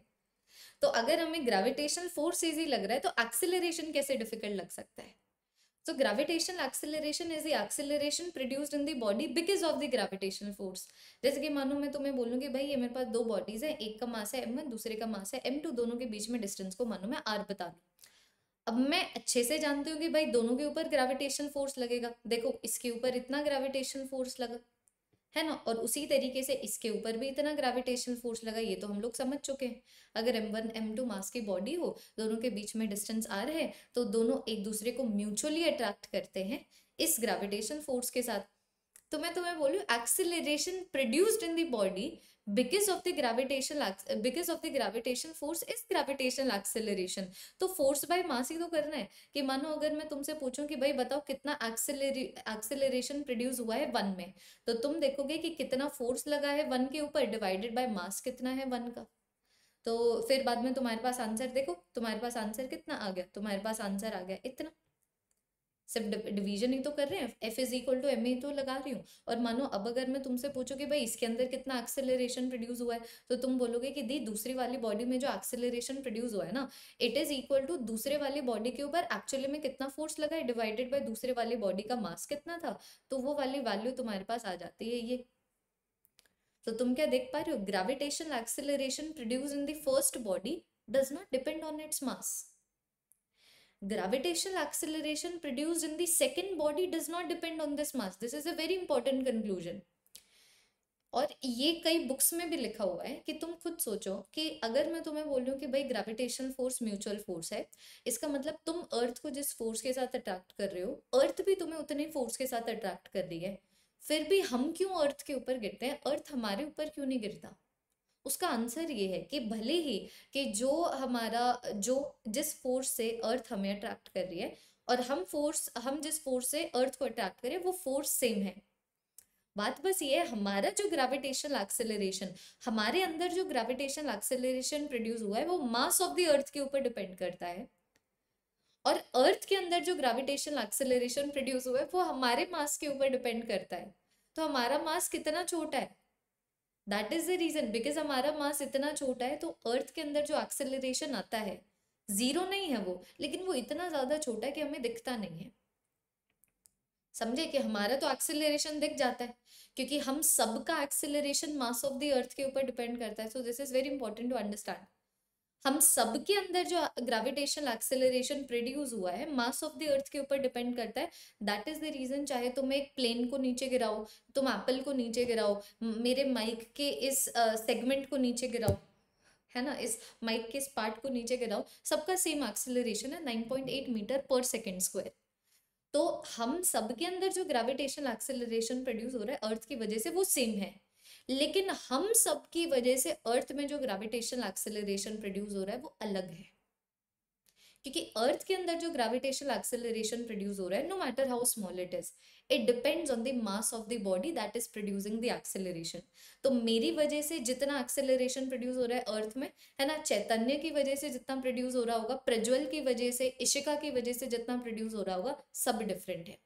So gravitational acceleration produced in all the bodies because of the earth is same because mass of the earth is same but the gravitational acceleration produced on the earth produced on the earth produced of the earth because of different different bodies is different ये छोटा सा हम लोगों ने ऐसे discussion कर लिया तो मैं तुम्हें ये बोल रही हूँ कि क्या मैं अभी जिस जो हम लोगों ने डिस्कशन किया है उससे मैं तुम लोगों को ये चीज़ बोल दूँ कि भाई मानो अगर मेरे पास इस तरीके से स्मॉल एम मास हो ठीक है? इस तरीके से मानो मेरे पास स्मॉल एम मास हो। तो स्मॉल एम मास के आर के डिस्टेंस के ऊपर मुझे अगर ग्रेविटेशनल एक्सेलरेशन निकालना है है ना? तो acceleration force divided by mass होता है ना? तो क्या मैं बोलता हूँ कि ये वाले पॉइंट के ऊपर जो ग्रेविटेशन एक्सेलरेशन आएगा किसी भी बॉडी का इट इज़ ग्रेविटेशन कांस्टेंट ये वाले बॉडी का मास डिवाइडेड बाय डिस्टेंस का स्क्वायर जैसे कि तुम देखो, यहाँ पर जो ग्रेविटेशन एक्सेलरेशन प्रोड्यूस हुआ है एम वन मास के आर के डिस्टेंस के ऊपर जो ग्रेविटेशन एक्सेलरेशन प्रोड्यूस हुआ है, इतना प्रोड्यूस हुआ है। एम टू मास से आर के डिस्टेंस के ऊपर जो ग्रेविटेशन एक्सेलरेशन प्रोड्यूस हुआ है, वो इतना हुआ है। तो क्या मैं एक कंक्लूजन दे दूँ कि मानो अगर तुम किसी मास की वजह से, चाहे वो पॉइंट मास हो या फिर वो प्लैनेट का मास हो, अगर तुम किसी, कभी भी किसी भी मास की वजह से अगर आर के डिस्टेंस के ऊपर ग्रेविटेशनल एक्सेलरेशन निकालते हो तो फॉर्मूला ये आता है। है ना? तो मानो अगर मैं एक प्लानट की वजह से ग्रेविटेशनल एक्सेलरेशन निकालू निकालू जो मेन हमारा टॉपिक है तो मैं बोल दूँगी कि आ, मैं किसी भी जगह निकाल सकती हूँ। जैसे कि मानो मैं ग्रेविटेशनल एक्सेलरेशन प्लानट की वजह से सरफेस के ऊपर निकाल सकती हूँ। मैं ग्रेविटेशनल एक्सेलरेशन प्लानट की वजह से इस तरीके से किसी एक्सटर्नल पॉइंट के ऊपर निकाल सकती हूँ तो क्या दिक्कत है? देख तो लिया कि अगर एम मास की वजह से आर के डिस्टेंस के ऊपर ग्रेविटेशनल एक्सेलरेशन निकाल रहे हो it is gravitation constant M mass divided by distance का स्क्वायर तो भले वो पॉइंट पार्टिकल का मास हो या फिर प्लैनेट का मास हो जिसको मैं सेंटर के ऊपर कंसंट्रेटेड मानूँगी तो मानो ये मेरे पास प्लैनेट है कैपिटल एम के मास का तो सारे के सारे मास को यहाँ पर कंसंट्रेटेड मान लिया। और अब मैं ये वाले पॉइंट से कैपिटल आर के डिस्टेंस के ऊपर अगर ग्रेविटेशनल एक्सेलरेशन निकाल रही हूँ सो यहाँ पर ग्रेविटेशनल एक्सेलरेशन बताओ कितना बनेगा? It is the gravitation constant mass of the planet divided by radius of the planet का स्क्वायर वैसे ही मानो अगर मैं तुम्हें बोलूँ कि प्लानट की वजह से ना, अगर मानो प्लानट से प्लानट के सेंटर से स्मॉल आर के डिस्टेंस के ऊपर एक, इस एक्सटर्नल पॉइंट के ऊपर ग्रेविटेशन एक्सेलरेशन में तुमसे पूछूँ तो क्या दिक्कत की बात होगी बता तो दिया कंसेप्ट अभी क्वेश्चन टाइप से तो हो गए एक तरीके से। एप्लीकेशन ही हो गए ना ये? तो तुम देखोगे कि दी, आपने बता दिया कि चाहे मास एक जगह कंसंट्रेटेड हो, या फिर प्लानट वाले सिनारियो में हमें एक जगह पे कंसंट्रेटेड मानना हो, हमारा कंसेप्ट सेम रहेगा कि हम यहाँ पर सारे के सारे मास को सेंटर के ऊपर कंसंट्रेटेड मान लेंगे और फिर अगर आप स्मॉल आर के डिस्टेंस के ऊपर ग्रेविटेशनल एक्सेलरेशन निकालने को बोल रहे हैं तो वो वाली वैल्यू मेरे पास कितनी आ जाएगी? हाँ जी, ये वाले पॉइंट के ऊपर मेरे पास ग्रेविटेशनल एक्सेलरेशन की वैल्यू कितनी आ जाएगी? It is equal to gravitational constant mass of the planet divided by कितने डिस्टेंस के ऊपर ग्रेविटेशनल एक्सेलरेशन निकाल रहे हो, उसका स्क्वायर यही है ना? तो हम लोगों ने डिस्कशन करके पहली बार इस जो भी हम लोगों की लर्निंग्स आई है, उनको हम लोगों ने अप्लाई किया. अब मानो मैं तुम्हें ये क्वेश्चन दो और ऐसे न्यूमेरिकल क्वेश्चंस हैं, ऐसे प्रीवियस ईयर क्वेश्चंस हैं, मानो मैं तुम्हें बोलूँ कि भाई मेरे पास ना एक प्लानट है. तो मैंने तुम्हें बोला कि प्लानट की सरफेस के ऊपर ग्रेविटेशनल एक्सेलरेशन जीपी है. और प्लैनेट की सरफेस से अगर तुम कैपिटल आर के डिस्टेंस के ऊपर जाओ which is the radius of the planet तो वहाँ पर ग्रेविटेशनल एक्सेलरेशन जी क्यू है। तो मैंने तुम्हें बोला, यहाँ पर जो ग्रेविटेशनल एक्सेलरेशन है और यहाँ पर जो ग्रेविटेशनल एक्सेलरेशन है, उनका रेशियो निकालो। तो मैं तुम्हें बोल रही कितना ईजी चैप्टर है ये। तुम्हें ऑलरेडी पता है फोर्सेस के साथ कैसे डील करना है। Force divided by mass acceleration होता है तो हम लोगों ने एक्सेलरेशन की इक्वेशन निकाल ली है, और अब हम सिर्फ़ इक्वेशन बेस्ड बातें कर रहे हैं। तो रेशियो वेशियो बाद में पहले तुम्हें डिफाइन करना आना चाहिए कि यहाँ पर ग्रेविटेशनल एक्सेलरेशन कितना होगा। तो क्या करोगे? कैसे निकालोगे ये वाले पॉइंट के ऊपर ग्रेविटेशनल एक्सेलरेशन सारे के सारे मास को सेंटर पे कंसंट्रेटेड मान लोगे, फिर देखोगे कि ये उस मास से कितने डिस्टेंस के ऊपर है। तो तुम देख लो ग्रेविटेशनल एक्सेलरेशन पी पॉइंट के ऊपर आ रहा है। Gravitational constant mass of the planet radius of the planet का स्क्वायर क्योंकि इस पॉइंट के बीच में सेंटर ऑफ़ द प्लानट के बीच में और सर्फेस ऑफ़ द प्लानट के बीच में जो डिस्टेंस है, वही रेडियस होता है। और अब मानो अगर तुम्हें ये निकालना हो कि भाई ये वाले पॉइंट के ऊपर कितना ग्रेविटेशनल एक्सेलरेशन है, कैसे निकालोगे? किसकी वजह से ग्रेविटेशनल एक्सेलरेशन निकाल रहे हो? प्लैनेट की वजह से ना? तो प्लैनेट का मास देखो ना कहाँ पर है? तो सारे के सारे मास को मुझे यहाँ पर कंसेंट्रेटेड मानना है। अब मैं देखूँगी ये वाले मास से ये वाला जो पॉइंट है कितने डिस्टेंस के ऊपर है? तो ये टू आर के टू कैपिटल आर के डिस्टेंस के ऊपर है। तो यहाँ पर जो ग्रेविटेशनल एक्सेलरेशन आएगा इट इज़ ग्रेविटेशनल कॉन्स्टेंट जिस प्लैनेट की वजह से निकाल लो, उसका मास कितना है? डिवाइडेड बाय दोनों के बीच में जो डिस्टेंस है, उसका स्क्वायर हाँ जी, देखिए तो ये वाली वैल्यू मेरे पास कितनी आ गई? G capital M divided by four capital R का स्क्वायर तो भाई, जब हम डिफाइन कर पा रहे रेशियो निकालना हमारे लिए बड़ी बात थोड़ी हो गई. ये लो जी रेशियो निकाल देंगे. तो अब देखो, जब मैं रेशियो निकाल रही हूँ वैल्यू मेरे पास आ गई फोर बाय वन क्या दिक्कत की बात है? है ना? अब मानो मैं तुम लोगों को यहाँ पर ये बोलूँ, है ना? इससे पहले डिस्कशन करते हैं। तो क्या मैं तुम लोगों को बच्चों ये बोल दूँ कि अगर मानो अभी मैं फोकस करती हूँ सिर्फ़ और सिर्फ़ ग्रेविटेशनल एक्सेलरेशन देखना, ये बहुत इंपॉर्टेंट टॉपिक है, जो तुम्हारा ये ग्रेविटेशन चैप्टर है ना, इसमें से जो दो सबसे इंपॉर्टेंट टॉपिक्स हैं, एक आ गया ग्रेविटेशनल एक्सेलरेशन और एक आ गया gravitational potential energy change and escape velocity दोनों बहुत ईजी हैं। एक हमारा फोर्स डिवाइडेड बाय मास के ऊपर बेस्ड है। दूसरा हमारा वर्क एनर्जी थ्योरम और कंजर्वेशन ऑफ़ मैकेनिकल एनर्जी पे बेस्ड है। ट्रिक्स भी बताने वाली हूँ मैं तुम लोगों को, ठीक है? यहाँ पर तो कोई ट्रिक की ज़रूरत ही नहीं है भाई, ठीक है? तो अभी मैं तुम्हें बोलना चाहती हूँ कि मानो आपके बारे में अपने पूरे के पूरे डिस्कशन को सिर्फ़ इसके ऊपर फोकस कर दूँ। What is the gravitational acceleration at the surface of the planet सारे डिस्कशन को यहीं से सेंटर कर दो at the surface of the planet तो बच्चा जी, मैं तुम्हें सिर्फ़ ये बोल रही हूँ, हज़ार सिनारियोज हैं। तुम्हें अब तक पता लग जाना चाहिए, तुम्हारी टीचर बार बार यही सेम स्टेटमेंट बोलती हैं, हज़ार सिनारियोज हैं, हज़ार कंसेप्ट नहीं हैं। तो भाड़ में जाए वो हज़ार सिनारियोज के कंक्लूजन्स अगर हम लोगों को इनिशियल पॉइंट से सोल्यूशन तक जाना आता है। कि अगर आप हमें बोल रहे हैं कि ये वाले पॉइंट के ऊपर कितना ग्रेविटेशन एक्सेलरेशन है सरफेस के ऊपर तो मानो ये प्लानट है जिसका मास है एम जिसका रेडियस है आर है ना? तो अगर आप इस पॉइंट के ऊपर ग्रेविटेशन एक्सेलरेशन पूछ रहे हैं तो मैं सारे के सारे मास ऑफ़ द प्लानट को सेंटर के ऊपर कंसंट्रेटेड मानूँगी और फिर देखूँगी कितने डिस्टेंस के ऊपर एक्चुअली में मुझसे एक्सेलरेशन पूछा जा रहा है। तो मेरे पास आ जाएगा कि जो ग्रेविटेशनल एक्सेलरेशन सरफेस पे आ रहा है, उसका फॉर्मूला मेरे पास ये आ गया which is gravitational constant mass of the planet divided by radius of the planet का स्क्वायर है ना? देख लो फटाफट से। ये मेरे पास इस तरीके से फॉर्मूला आ रहा है। तो मैं तुम्हें बोल रही इसको और तरीके से लिखा जा सकता है। जैसे कि मानो मैं तुम्हें बोलूँ कि यार, तुम ऐसा करो, इसको डेंसिटी की टर्म्स में लिखो। भाई, मन का मौजी एडुकेटर तो जी कुछ भी पूछ सकता है। कि अभी तो तुम लोग ग्रेविटेशनल एक्सेलरेशन को लिख रहे हो in the terms of the mass of the planet मानो मैं तुम्हें बोलूँ कि डेंसिटी ऑफ़ द प्लैनेट के टर्म्स में लिख दो तो अब तुम्हारे दिमाग में ये नहीं आना चाहिए कि दी ये फॉर्मूला याद रख लेंगे। No no. बिल्कुल भी नहीं।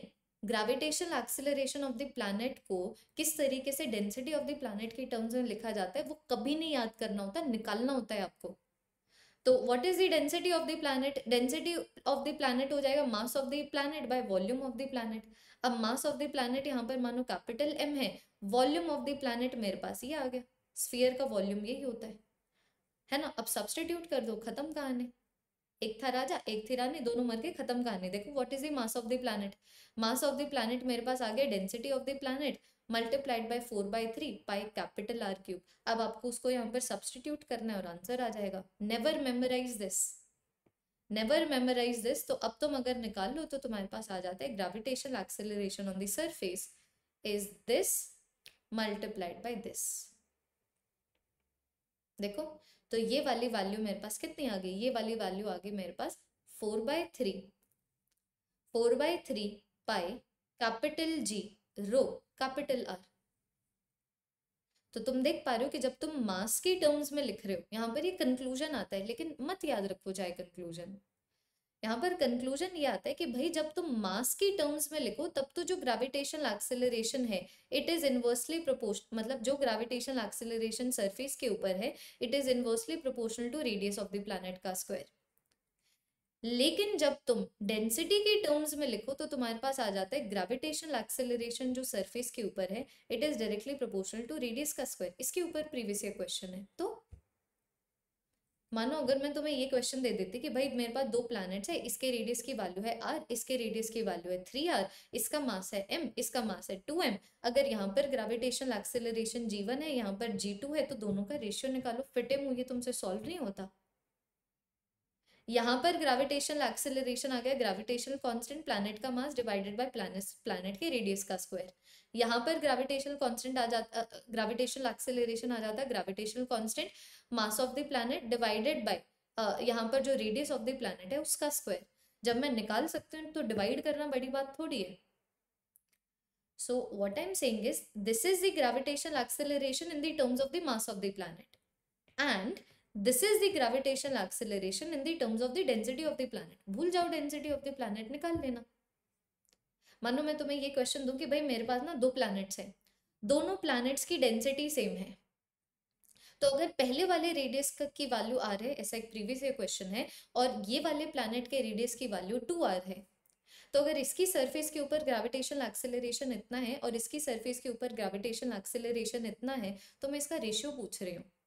तो number one point, number one step क्या होना चाहिए कि यहाँ से शुरू करो कि ग्रेविटेशनल एक्सेलरेशन सरफेस के ऊपर इतना होता है, इसको लिखो डेंसिटी मल्टीप्लाइड बाय वॉल्यूम तो तुम्हारे पास खुद के पास आ जाएगा कि भाई जो ग्रेविटेशनल एक्सेलरेशन सरफेस के ऊपर होता है it is directly proportional to the density multiplied by the radius तो अब अगर आप हम लोगों को यहाँ पर ये भी बोल रहे हैं कि दोनों की डेंसिटी भी सेम है तो मैं बोल सकती हूँ कि ग्रेविटेशनल एक्सेलरेशन जो सरफेस के ऊपर ऊपर होगा it is directly proportional to the radius so G one by G two it is going to be given by R one by R two पहले वाले का रेडियस है कैपिटल आर दूसरे वाले का रेडियस है two times of capital R value आ गई one by two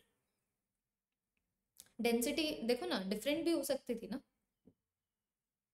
जैसे कि मास के टर्म्स में लिखूं तो मेरे पास ये रेशियो आता है। डेंसिटी की टर्म्स में लिखूं तो ये रेशियो आता है। ये देखो गुड क्वेश्चन ऐसे ऐसे ही आपके प्रीवियस ईयर क्वेश्चन है। ये तो ये अभी हम लोगों ने ना बहुत अलग अलग तरीके से डिस्कस करके ग्रेविटेशनल एक्सेलरेशन को हम लोगों ने लिखना सीखा है। है ना? ग्रेविटेशनल एक्सेलरेशन की सबसे पहले कंसेप्चुअल अंडरस्टैंडिंग ली है। कि कैसे ग्रेविटेशनल एक्सेलरेशन एक बॉडी का उसी के मास के ऊपर नहीं डिपेंड करता। कैसे ग्रेविटेशनल एक्सेलरेशन एक बॉडी का उसी के मास पे नहीं डिपेंड करता। तो हमारा ग्रेविटेशनल एक्सेलरेशन जो अर्थ की वजह से हमारे मास पे डिपेंड नहीं कर रहा है मास ऑफ़ द अर्थ के ऊपर डिपेंड कर रहा है। तो फिर बाद में हम लोग आगे कि ठीक है यार, एक प्लानट की वजह से उसकी सरफेस के ऊपर ग्रेविटेशनल एक्सेलरेशन एक्सटर्नल पॉइंट के ऊपर ग्रेविटेशनल एक्सेलरेशन कैसे निकाला जाता है। उस ग्रेविटेशनल एक्सेलरेशन को हम लोगों ने मास ऑफ़ द प्लानट के टर्म्स में भी लिखा, हम लोगों ने डेंसिटी ऑफ़ द प्लानट के टर्म्स में भी लिखा। अब ऐसा करते हैं, अब देखते हैं ग्रेविटेशनल एक्सेलरेशन कैसे हाइट के ऊपर डिपेंड करता है, कैसे डेप्थ के ऊपर डिपेंड करता है और किस तरीके से बच्चों ये लैटिट्यूड के ऊपर डिपेंड करता है। ये वैसे तो तुम्हारे रिड्यूस्ड सिलेबस में है है ना? तो इसको हम लोग ऐसा करेंगे, इसको हम लोग लास्ट के लिए रखेंगे। अगर टाइम बचेगा तो करा दूँगी, अगर टाइम नहीं बचेगा तो डिलीटेड टॉपिक्स तो मैं वैसे भी नहीं करवा रही हूँ। So this is in your deleted topic जो तुम्हारा रैशनलाइज सिलेबस है। जो हमारे मेजर और एक्चुअली में जिनके ऊपर क्वेश्चंस भी आते हैं, वो ये है कि कैसे ग्रेविटेशनल एक्सेलरेशन की वैल्यू डेप्थ के ऊपर डिपेंड करती है और हाइट पे डिपेंड करती है। तो देखो बच्चों, अगर मैं हाइट की बात करूँ तो हाइट के ऊपर तो कोई दिक्कत होनी नहीं चाहिए भाई। हाइट के ऊपर थोड़ी कोई दिक्कत होनी चाहिए कि मानो मैं तुम्हें बोलूँ कि भाई मेरे पास ना इस तरीके से एक प्लानट है। लेटेस्ट अज्यूम मैंने तुम्हें बोला कि ये मेरे पास एक प्लानट है। तो प्लानट की सरफेस से कैपिटल एच की हाइट के ऊपर तुम ग्रेविटेशनल एक्सेलरेशन निकालो। So the examiner is only trying to play chess with you you already know how to calculate the gravitational acceleration because of a planet at the surface and at the external point तुम बोलोगे तो क्या बड़ी बात हो गई? ये मेरा प्लानट है। प्लानट के सारे के सारे मास को मैं यहाँ पर कंसंट्रेटेड मान लूँगी। और फिर देखूँगी कितने डिस्टेंस के ऊपर मुझसे ग्रेविटेशन एक्सेलरेशन पूछा जा रहा है। इसको मानो मैंने स्मॉल आर ले लिया। तो मैं बोलूँगी कि भाई इस पॉइंट के ऊपर जो ग्रेविटेशनल एक्सेलरेशन है it is gravitational constant mass of the planet और इस सेंटर ऑफ़ द प्लानट से कितने डिस्टेंस के ऊपर तुम ग्रेविटेशनल एक्सेलरेशन निकाल रहे हो, उसका स्क्वायर अब तुम्हें यहाँ पर सिर्फ़ सब्सटीट्यूट ही तो करना है। What is small R capital R plus H ये आ गया मेरे पास। देखो एक बार, ये मेरे पास आ गया, कैपिटल आर प्लस एच खत्म। देखो। तो अगर मानो मैं सरफेस के ऊपर ग्रेविटेशनल एक्सेलरेशन लिखूं तो सरफेस के ऊपर इतना आता।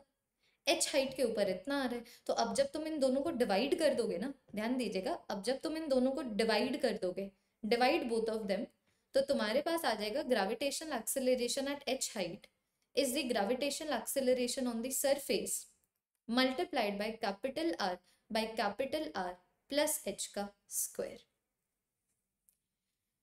देखिए एक बार दिस यू गेट देख लो एक बार दिस यू गेट सिर्फ़ डिवाइड करना है तो तुम्हारे पास ये वाली इक्वेशन आ जाती है। तो ये याद रखने वाली बात थोड़ी है। भूल जाओ इक्वेशन को। जब तुम्हें एच की हाइट के ऊपर लिखना आ रहा है सरफेस के ऊपर लिखना आ रहा है तो वहाँ पर कर लेना divide you get this equation और उसी तरीके से जब हम लोग यहाँ पर अगर बिकॉज़ तुम लोगों ने मुझे दो और आधे घंटे दिए हैं तो मैथमेटिकल जो डेरिवेशन है, जिसमें कोई कंसेप्ट नहीं लग रहा है, जो तुम्हारे सिलेबस से एसोसिएटेड है, उसको मैं स्किप करा सकती हूँ। तो उसी तरीके से ये वाली जो इक्वेशन है मॉडिफाई हो जाती है। जब स्मॉल एच की, जो हाइट की वैल्यू है, मानो अगर रेडियस ऑफ़ द अर्थ से बहुत ज़्यादा छोटी कि जब ये हाइट की वैल्यू क्योंकि देखो अगर मानो मैं रेडियस ऑफ़ द अर्थ की बात करूँ ना तो रेडियस ऑफ़ द अर्थ होता है मेरे पास six four zero zero kilometres तो मानो अगर मैं एक ऐसी हाइट की बात करूँ जो मानो 600 किलोमीटर है, या फिर 10 किलोमीटर है 20 किलोमीटर है तो ऐसे जब हाइट की वैल्यू बहुत छोटी होती है तो ये वाली इक्वेशन इस तरीके से मॉडिफाई होती है। जी हाँ आप इस इक्वेशन को याद रखेंगे। This is the formula that all of you get so this is the equation that you will use कब दोनों इक्वेशंस का इस्तेमाल करोगे? इस इक्वेशन का इस्तेमाल करोगे जब एच और आर कंपेरेबल हो, इसको इंग्लिश में ऐसे बोला जाता है। एच और आर कंपेरेबल है, इसका मतलब हाइट की value radius of the earth से, या फिर रेडियस ऑफ़ द प्लैनेट से बहुत ज़्यादा छोटी नहीं है। लेकिन मानो, जब एच और आर कंपेरेबल नहीं है कंपेरेबल नहीं है, इसका मतलब क्या? कि जब हाइट की वैल्यू बहुत ज़्यादा छोटी है तो तुम ये वाले इक्वेशन का इस्तेमाल करोगे। देखो, है ना? तो अभी मानो मैं तुम लोगों को इसके ऊपर क्वेश्चन कराऊं, क्योंकि अल्टीमेटली बात तो सारी क्वेश्चन के ऊपर आ जाती है। जैसे कि मानो मैं तुम्हें ये बोलूँ कि बॉडी का जो वेट है सरफेस के ऊपर इतना है। तो बॉडी का वेट कितना होगा? एट कैपिटल आर की हाइट के ऊपर। ऑलवेज ड्रॉ द डायग्राम क्योंकि ये जो बच्चों हमारा टॉपिक है ना, ये डायग्राम्स में इक्वेशन तो हम लोग सिर्फ़ लिखने के लिए लिख रहे हैं। तो तुम्हें बोला हुआ है, ध्यान से देखिएगा, कि मानो अगर मैं फॉर एग्ज़ाम्पल इसको अपना प्लानट मानू, है ना?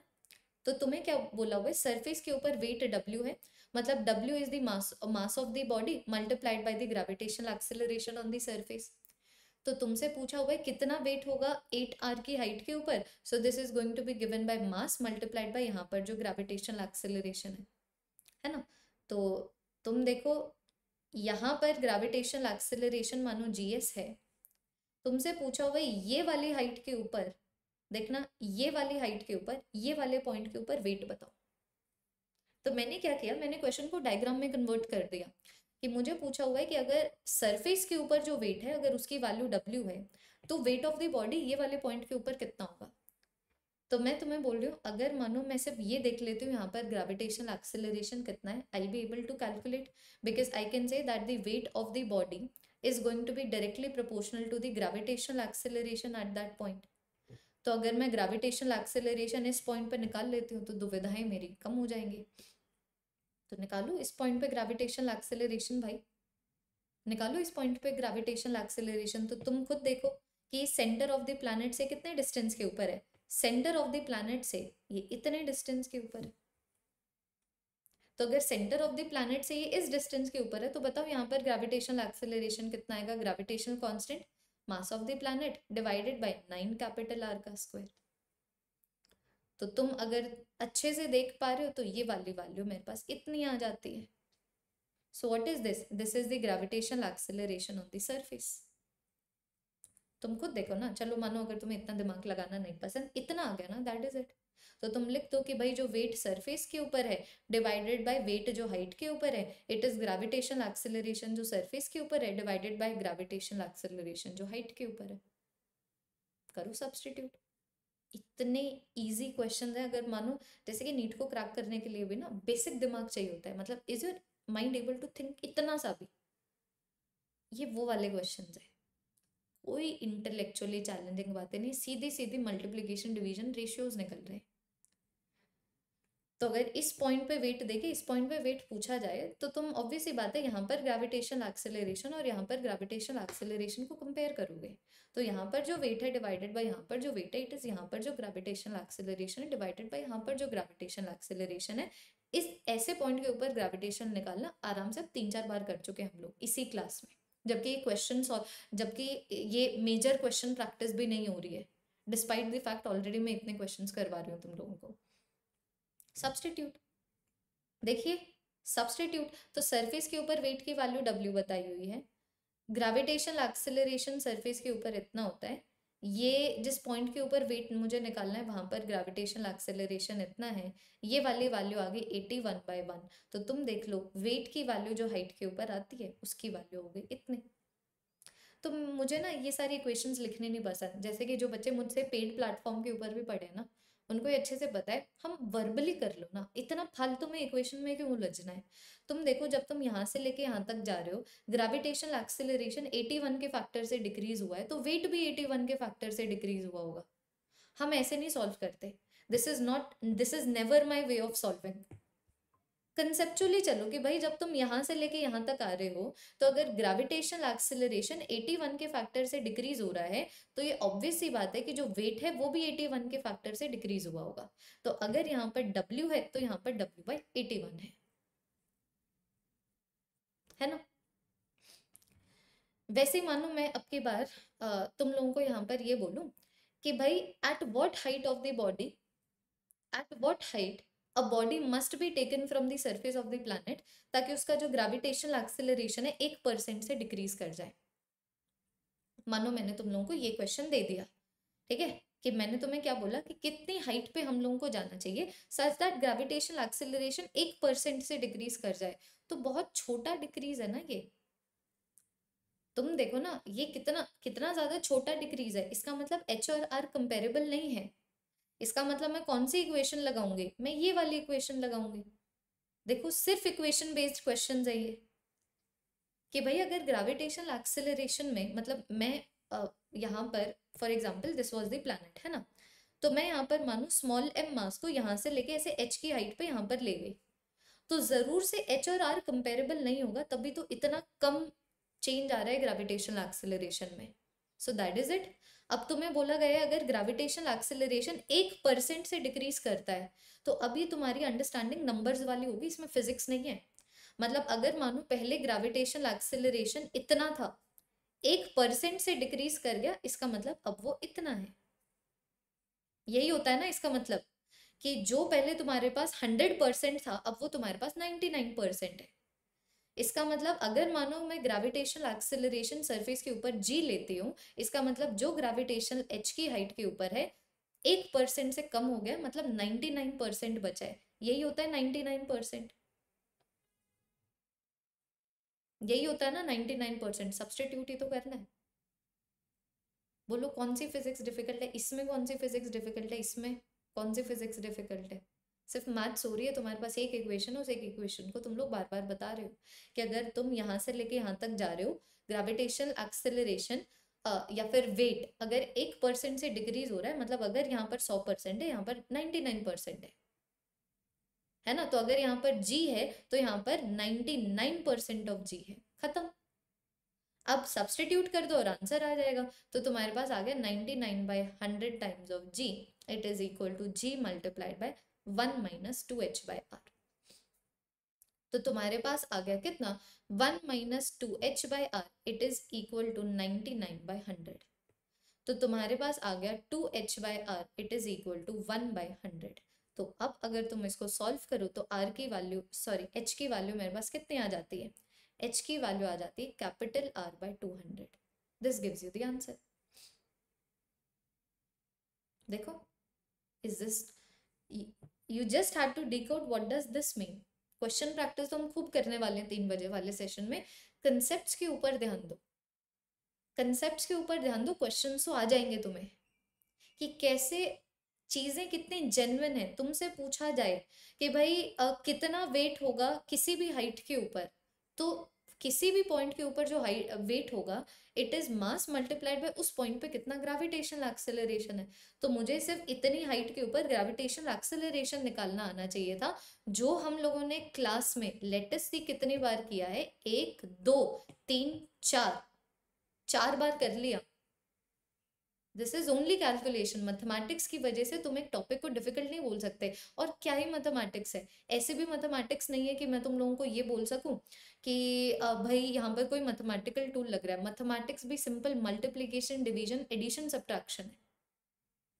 मानो अगर मैं तुम लोगों को यहाँ पर एक और क्वेश्चन दूँ कि भाई बताओ, कौन सी हाइट के ऊपर, ध्यान से देखना, मानो मैं तुमसे पूछूँ कि भाई कौन सी हाइट के ऊपर जो ग्रेविटेशनल एक्सेलरेशन है ना वो सरफेस के ग्रेविटेशनल एक्सेलरेशन से वन फोर्थ हो जाएगा।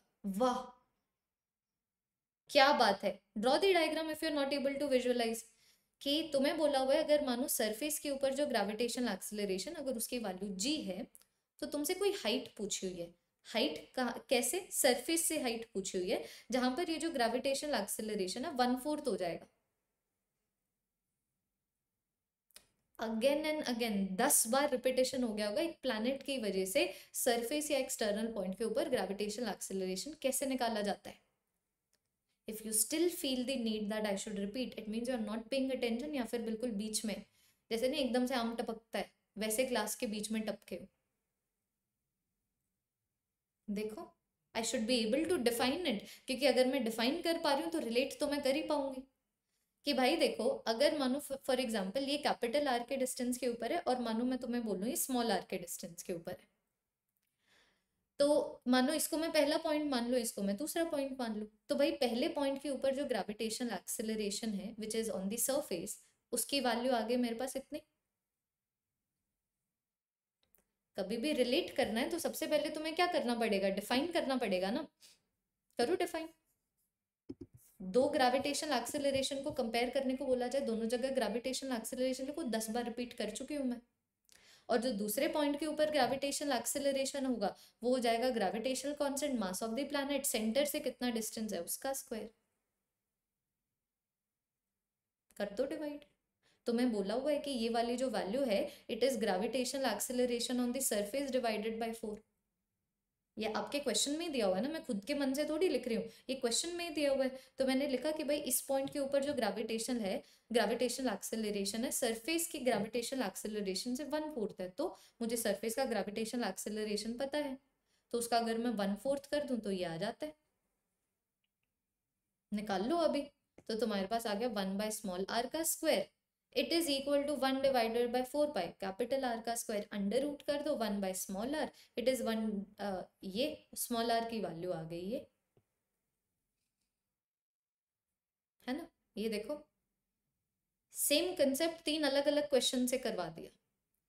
So now you must understand कि देखो, हम लोगों ने भले अनगिनत क्वेश्चन कर ले, और ऑब्वियसली बात है क्वेश्चन में तुम लोग को कॉन्फिडेंस और आएगा जब प्रैक्टिस सेशन आएगा। मैं तुम्हें ये बोल रही हूँ, मैंने इतने क्वेश्चन करवाए हैं, मैंने क्वेश्चन का नेचर चेंज किया है, हमारा कंसेप्ट तो नहीं बदला। अगर ये प्लानट है एम मास का आर का रेडियस है तो सरफेस के ऊपर ग्रेविटेशनल एक्सेलरेशन ऐसे लिखा जाता है। और अगर मानो ऐसे एक्सटर्नल पॉइंट के ऊपर ग्रेविटेशनल एक्सेलरेशन की बात करो तो ऐसे लिखा जाता है। तो ये तो हो गया ग्रेविटेशन एक्सेलरेशन कैसे एच की हाइट पे वेरी करता है। अब अगर मानो मैं डी की डेप्थ के ऊपर बताऊँ तो अगर कोई डेरिवेशन नहीं कर रहे, यहाँ पर जो मेरे पास फॉर्मूला आता है ना, ये वाले फॉर्मूला से काफ़ी ज़्यादा सिमिलर है। जैसे यहाँ पर मेरे पास फॉर्मूला ये वाला नहीं आया था, कितने गया? ये फॉर्मूला नहीं आया था, जहाँ पर एच हाइट थी, यहाँ पर डी डेप्थ होगी। कि मानो मैं तुम्हें बोलूँ कि भाई ये मेरे पास एक प्लानट है, जिसका मास है कैपिटल एम रेडियस है कैपिटल आर मैं तुम्हें बोलूँ कि भाई डी की डेप्थ के ऊपर जाओ और फिर ग्रेविटेशन एक्सेलरेशन लिखो। तो चाहे एच और डी कंपेरेबल हो या फिर एच और डी ना कंपेरेबल हो, यहाँ पर जो मेरे पास फॉर्मूला आता है this is my formula this is the formula that we get और इनकेस मानो अगर मुझे तुम्हें ट्रिक भी बतानी हो ना, कि मतलब बिकॉज़ ये जो फॉर्मूला है थोड़ा सा कंसेप्चुअली आता है so we don't have to derive it but we need to talk about the concept तुम्हें अगर डी की डेप्थ के ऊपर ग्रेविटेशन एक्सेलरेशन पूछा जाए ना तो ये अंदर जो छोटे वाला गोला है ना, इसका मास निकाल लो। अब ऑब्वियसली बात है, अगर ये कैपिटल आर है और ये डी है तो ये जो मेरे पास छोटे वाला स्फीयर आ रहा है, इसका मास निकाल लो मानो उसका मास है एम वन इसका रेडियस आ गया मेरे पास कैपिटल आर माइनस डी तो ग्रेविटेशनल एक्सेलरेशन आ जाएगा ग्रेविटेशनल कांस्टेंट इसका जो मास है डिवाइडेड बाय इसके जो रेडियस का स्क्वायर है। तब डराइव करके पूरा करके ये आता है। So this is the trick that instead of calculating gravitational acceleration due to this full planet at D depth calculate the gravitation gravitational acceleration on the surface of this छोटू वाला sphere कि छोटू वाले स्फेयर का mass मानो अगर small are है mass अगर मानो स्मॉल एम है तो यहाँ पर जो ग्रेविटेशनल एक्सेलरेशन होगा it is gravitational constant mass of the छोटू वाला planet divided by radius of the छोटू वाले प्लानट का square this is the concept जैसे कि देखो, हम लोग यहाँ पर एक क्वेश्चन करते हैं। मानो मैं तुम्हें पूछूँ कि भाई ग्रेविटेशनल एक्सेलरेशन ना सरफेस के ऊपर इतना है। तो बताओ ग्रेविटेशनल एक्सेलरेशन कितनी डेप्थ के ऊपर इतना हो जाएगा? कंसेप्ट तो मैंने तुम्हें बता दी, ये देखो प्योरली न्यूमेरिकल बेस्ड क्वेश्चन है कि भाई जो ग्रेविटेशनल एक्सेलरेशन डी की डेप्थ के ऊपर है इट इज़ कितना सरफेस के ऊपर है multiplied by one minus d by r आपको सब्सटीट्यूट ही तो करना है। हाँ जी, तुम्हें यहाँ पर सब्सटीट्यूट ही तो करना है कि इसको तुम यहाँ पर सब्सटीट्यूट कर दो और आंसर आ जाएगा। तो तुम्हारे पास क्या आ गया? तुम्हारे पास आ गया कितना? G s by four it is equal to g s one minus d by r तो मेरे पास आ गया one by four it is equal to one minus d by r. तो तुम्हारे पास आ गया d by r is equal to three by four तो तुम्हारे पास आ गया डी की value three capital R by four. देखो।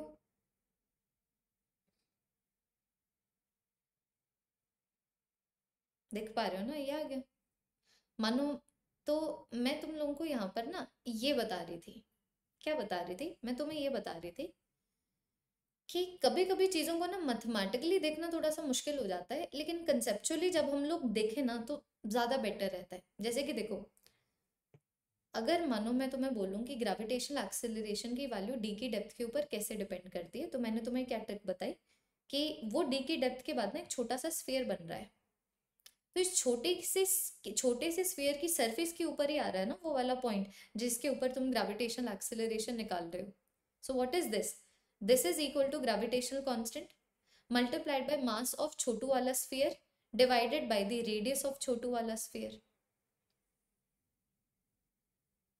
do you understand this I don't think you all understand this इसका मतलब मैं तो ये बोल रही हूँ कि अगर मानो मैं इसको थोड़ा सा ना यहाँ पर, यार क्लास लंबी खिंच जाएगी, मैं फालतू के छोटी छोटी चीज़ों में जा रही हूँ। छोड़ दो। छोड़ दो छोड़ दो। मैं इसको ना वर्बली बताती हूँ। तो मैं तुम्हें ये बोल रही हूँ कि इस इक्वेशन को देखो। जैसे तुम लोग डेप्थ को बढ़ा रहे हो, जैसे कि इफ़ यू ऑल कैन हाँ मैं यहीं से बता सकती हूँ। देखो ना this is r minus d by r what is r minus d r minus d wow ये देखो। सेम चीज़ जो मैं तुम लोग को जिस तरीके से बताना चाहती थी, वो मैं इसी इक्वेशन से बता रही हूँ। कि जो ग्रेविटेशन एक्सेलरेशन जो डी डी की डेप्थ के ऊपर है it is directly proportional to r minus d. What is r minus d? Distance from the center. देख पा रहे हो कि ग्रेविटेशनल एक्सेलरेशन जो डी के डेप्थ के ऊपर मतलब किसी भी इंटरनल पॉइंट के ऊपर जो ग्रेविटेशनल एक्सेलरेशन है it is directly proportional to the distance from the centre distance from the centre जैसे कि मानो मैं तुम्हें बोलूँ, ये वाला क्वेश्चन देखना जैसे कि मानो मैं तुम्हें ना ये बोलूँ कि भाई, ये बताओ, कैपिटल आर बाई थ्री की डेप्थ के ऊपर कितना ग्रेविटेशनल एक्सेलरेशन है? तो मैं बोलूँगी सेंटर से तो इतना डिस्टेंस है ना? सेंटर से इतना डिस्टेंस है। इसका मतलब जो ग्रेविटेशन इस पॉइंट के ऊपर ग्रेविटेशनल एक्सेलरेशन इस पॉइंट के ऊपर होगा, वो सरफेस का इतना होगा। ध्यान से सुनो। अगर मैं तुम्हें बोलूँ कि भाई ये जो डेप्थ है, उसकी value capital R by ten है मतलब सेंटर से जो डिस्टेंस है वो nine capital R by ten है। है ना? तो इसका मतलब जो यहाँ पर ग्रेविटेशन एक्सेलरेशन होगा, वो nine divided by ten times he gravitation acceleration on the surface होगा। जैसे कि तुम लोगों ने यहाँ पर पता नहीं नोटिस यही मैं बता रही थी, जैसे पता नहीं तुम लोगों ने यहाँ पर नोटिस किया हो या फिर नहीं किया हो तो मानो ये मैं इसको ना एक डायग्राम में कन्वर्ट करूँ। यही होती है, चीज़ें डायग्राम से ही समझ आती हैं कि इन्होंने बोला कौन से डेप्थ के ऊपर ग्रेविटेशनल एक्सेलरेशन सरफेस का वन फोर्थ हो जाएगा। तो मुझे पता लग गया वो वन फोर्थ होगा, ये वाले डिस्टेंस के ऊपर। So what is the value of depth इतना। ये मैं बताना चाह रही थी। Very glad that I found another way of explaining this let me give you one more question क्योंकि जो बच्चे ऐसे कंसेप्चुअली नहीं करते ना उनको कभी ये चीज़ रियलाइज़ नहीं होती और अगर तुम लोगों को रियलाइज़ हो, चुकी है तो डी डेप्थ के ऊपर ग्रेविटेशन एक्सेलरेशन निकालने के लिए तुम्हारा कलम नहीं चलेगा इक्वेशन में। जैसे कि मानो मैं तुमसे पूछूँ कि भाई ये मेरे पास इस तरीके से सरफेस है है ना? दो क्वेश्चन मैं तुमसे यहाँ पर पूछती हूँ to make sure that you understand what I am trying to say let me give you two question ताकि तुम्हें पता लगे कि आगे से ग्रेविटेशनल एक्सेलरेशन डी डेप्थ निकालने के लिए पेन ना चले। वही ट्रिक मैं तुम लोगों को यहाँ पर बता रही थी। ये देखो, यहाँ पर मैं तुम लोगों को वही ट्रिक बता रही थी कि मानो मैं तुम्हें बोलूँ कि भाई बताओ, कौन सी डेप्थ के ऊपर, मैंने तुमसे पूछा कि भाई कौन सी डेप्थ के ऊपर जो ग्रेविटेशनल एक्सेलरेशन है, वो जी बाय फाइव आएगा। इफ़ ऑब्वियसली बात है g is the gravitational acceleration on the surface और दूसरा मैं तुमसे पूछती हूँ कि भाई बताओ two capital R by three के डेप्थ के ऊपर, ये जो पॉइंट है, यहाँ पर ग्रेविटेशनल एक्सेलरेशन कितना है? दो क्वेश्चन मैंने तुमसे पूछे तो मैं तुम्हें क्या बोल रही हूँ? यही होता है कंसेप्ट को समझना। कि मैंने तुम्हें बता तो दिया बच्चों कि कभी भी कोई भी इंटरनल पॉइंट हो so we already had a discussion on it कि कोई भी इंटरनल पॉइंट हो तो इंटरनल पॉइंट के ऊपर। देखना, कोई भी इंटरनल पॉइंट हो, उस इंटरनल पॉइंट के ऊपर जो ग्रेविटेशनल एक्सेलरेशन है it is going to be directly proportional to the distance तो मैं तुम्हें बोल रही हूँ कि भाई, अगर यहाँ पर gravitational acceleration one by fifth है ना दैट इज़ बिकॉज़ यहाँ से सेंटर का जो डिस्टेंस है, वो आर बाई फाइव है। इसका मतलब ये वाली वैल्यू आ गई फोर आर बाई फाइव लगी इक्वेशन नहीं लगी। ये बता रही थी मैं तुम्हें। Now I am hoping that now it is crystal clear और अगर आप मुझसे पूछते हैं कि भाई इतने डेप्थ के ऊपर ग्रेविटेशनल एक्सेलरेशन कितना है तो इसका मतलब मुझे समझ आ रहा है ना सेंटर से जो डिस्टेंस है कैपिटल आर बाई थ्री है। तो सेंटर से distance capital R by three है तो ग्रेविटेशनल एक्सेलरेशन भी होगा सरफेस का gravitational acceleration divided by three लगे कोई इक्वेशन कोई इक्वेशन नहीं लगी।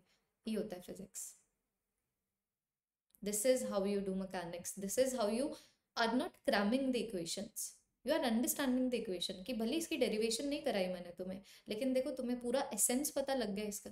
क्योंकि हम लोगों ने इक्वेशन के ऊपर बात की इक्वेशन क्या सिग्निफाई करता है? समझे?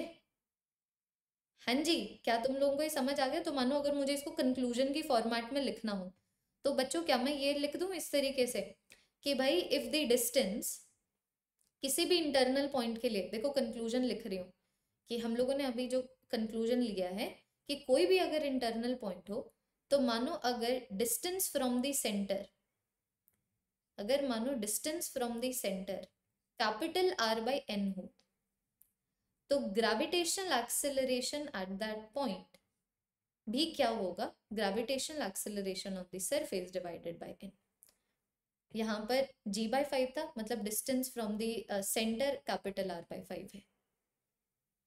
यहाँ पर distance from the centre capital R by three है तो gravitational acceleration g by three है। ठीक है जी? ये देखिए। तो अभी मैं तुम्हें बोल रही हूँ, मानो अगर मैं तुम्हें बोलूँगी, यार इसको ना एक ग्राफ में सब्सटीट्यूट कर दो तो कर दो। ग्राफ में अगर मैं तुम्हें बोल, इसको बाँध दो तो बाँध दो कि भाई जैसे जैसे डिस्टेंस सेंटर से बढ़ता जा रहा है ग्रेविटेशनल एक्सेलरेशन पहले तो बढ़ता जा रहा है।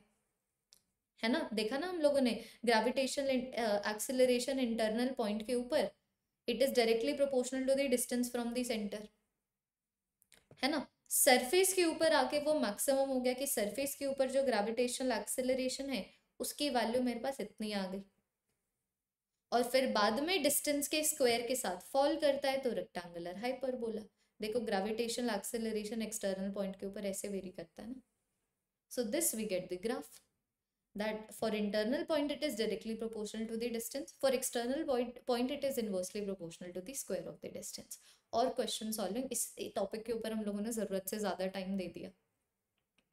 ठीक है, ये देखो प्रैक्टिस सेशन नहीं है, फिर भी छः क्वेश्चन कर लिए we should not be doing that this is very responsible let us make sure that we don't do this again तो but I am hoping that the concept is clear क्योंकि अगर इतने क्वेश्चन मैं यही वाली class में करा रही हूँ then what is the point of taking a practice session थोड़ा सा हम लोग बह गए, आओ अभी थोड़ा सा नहीं बहते हैं और आगे बढ़ते हैं। ठीक है? तो ये हो गया हमारा ग्रेविटेशनल एक्सेलरेशन ठीक है? फिर आ जाता है मेरे पास ग्रेविटेशनल इंटेंसिटी ध्यान से देखिएगा, फिर मेरे पास आ जाता है ग्रेविटेशनल इंटेंसिटी तो ग्रेविटेशनल इंटेंसिटी हम लोग बेसिकली ना एक मास की वजह से निकालते हैं। जैसे अभी भी हम लोग ग्रेविटेशनल एक्सेलरेशन एक मास की वजह से निकाल रहे थे। ठीक है? कि ग्रेविटेशनल एक्सेलरेशन एक मास की वजह से आर के डिस्टेंस के ऊपर इतना आएगा। वैसे ग्रेविटेशनल इंटेंसिटी होती है। कि ग्रेविटेशनल इंटेंसिटी एक मास की वजह से आर के डिस्टेंस के ऊपर कितना आएगा तो तुम्हें क्या करना है, तुम यहाँ पर सिर्फ़ अज्यूम कर लो। देखना, तुम अज्यूम कर लो कि यहाँ पर एक के का मास है।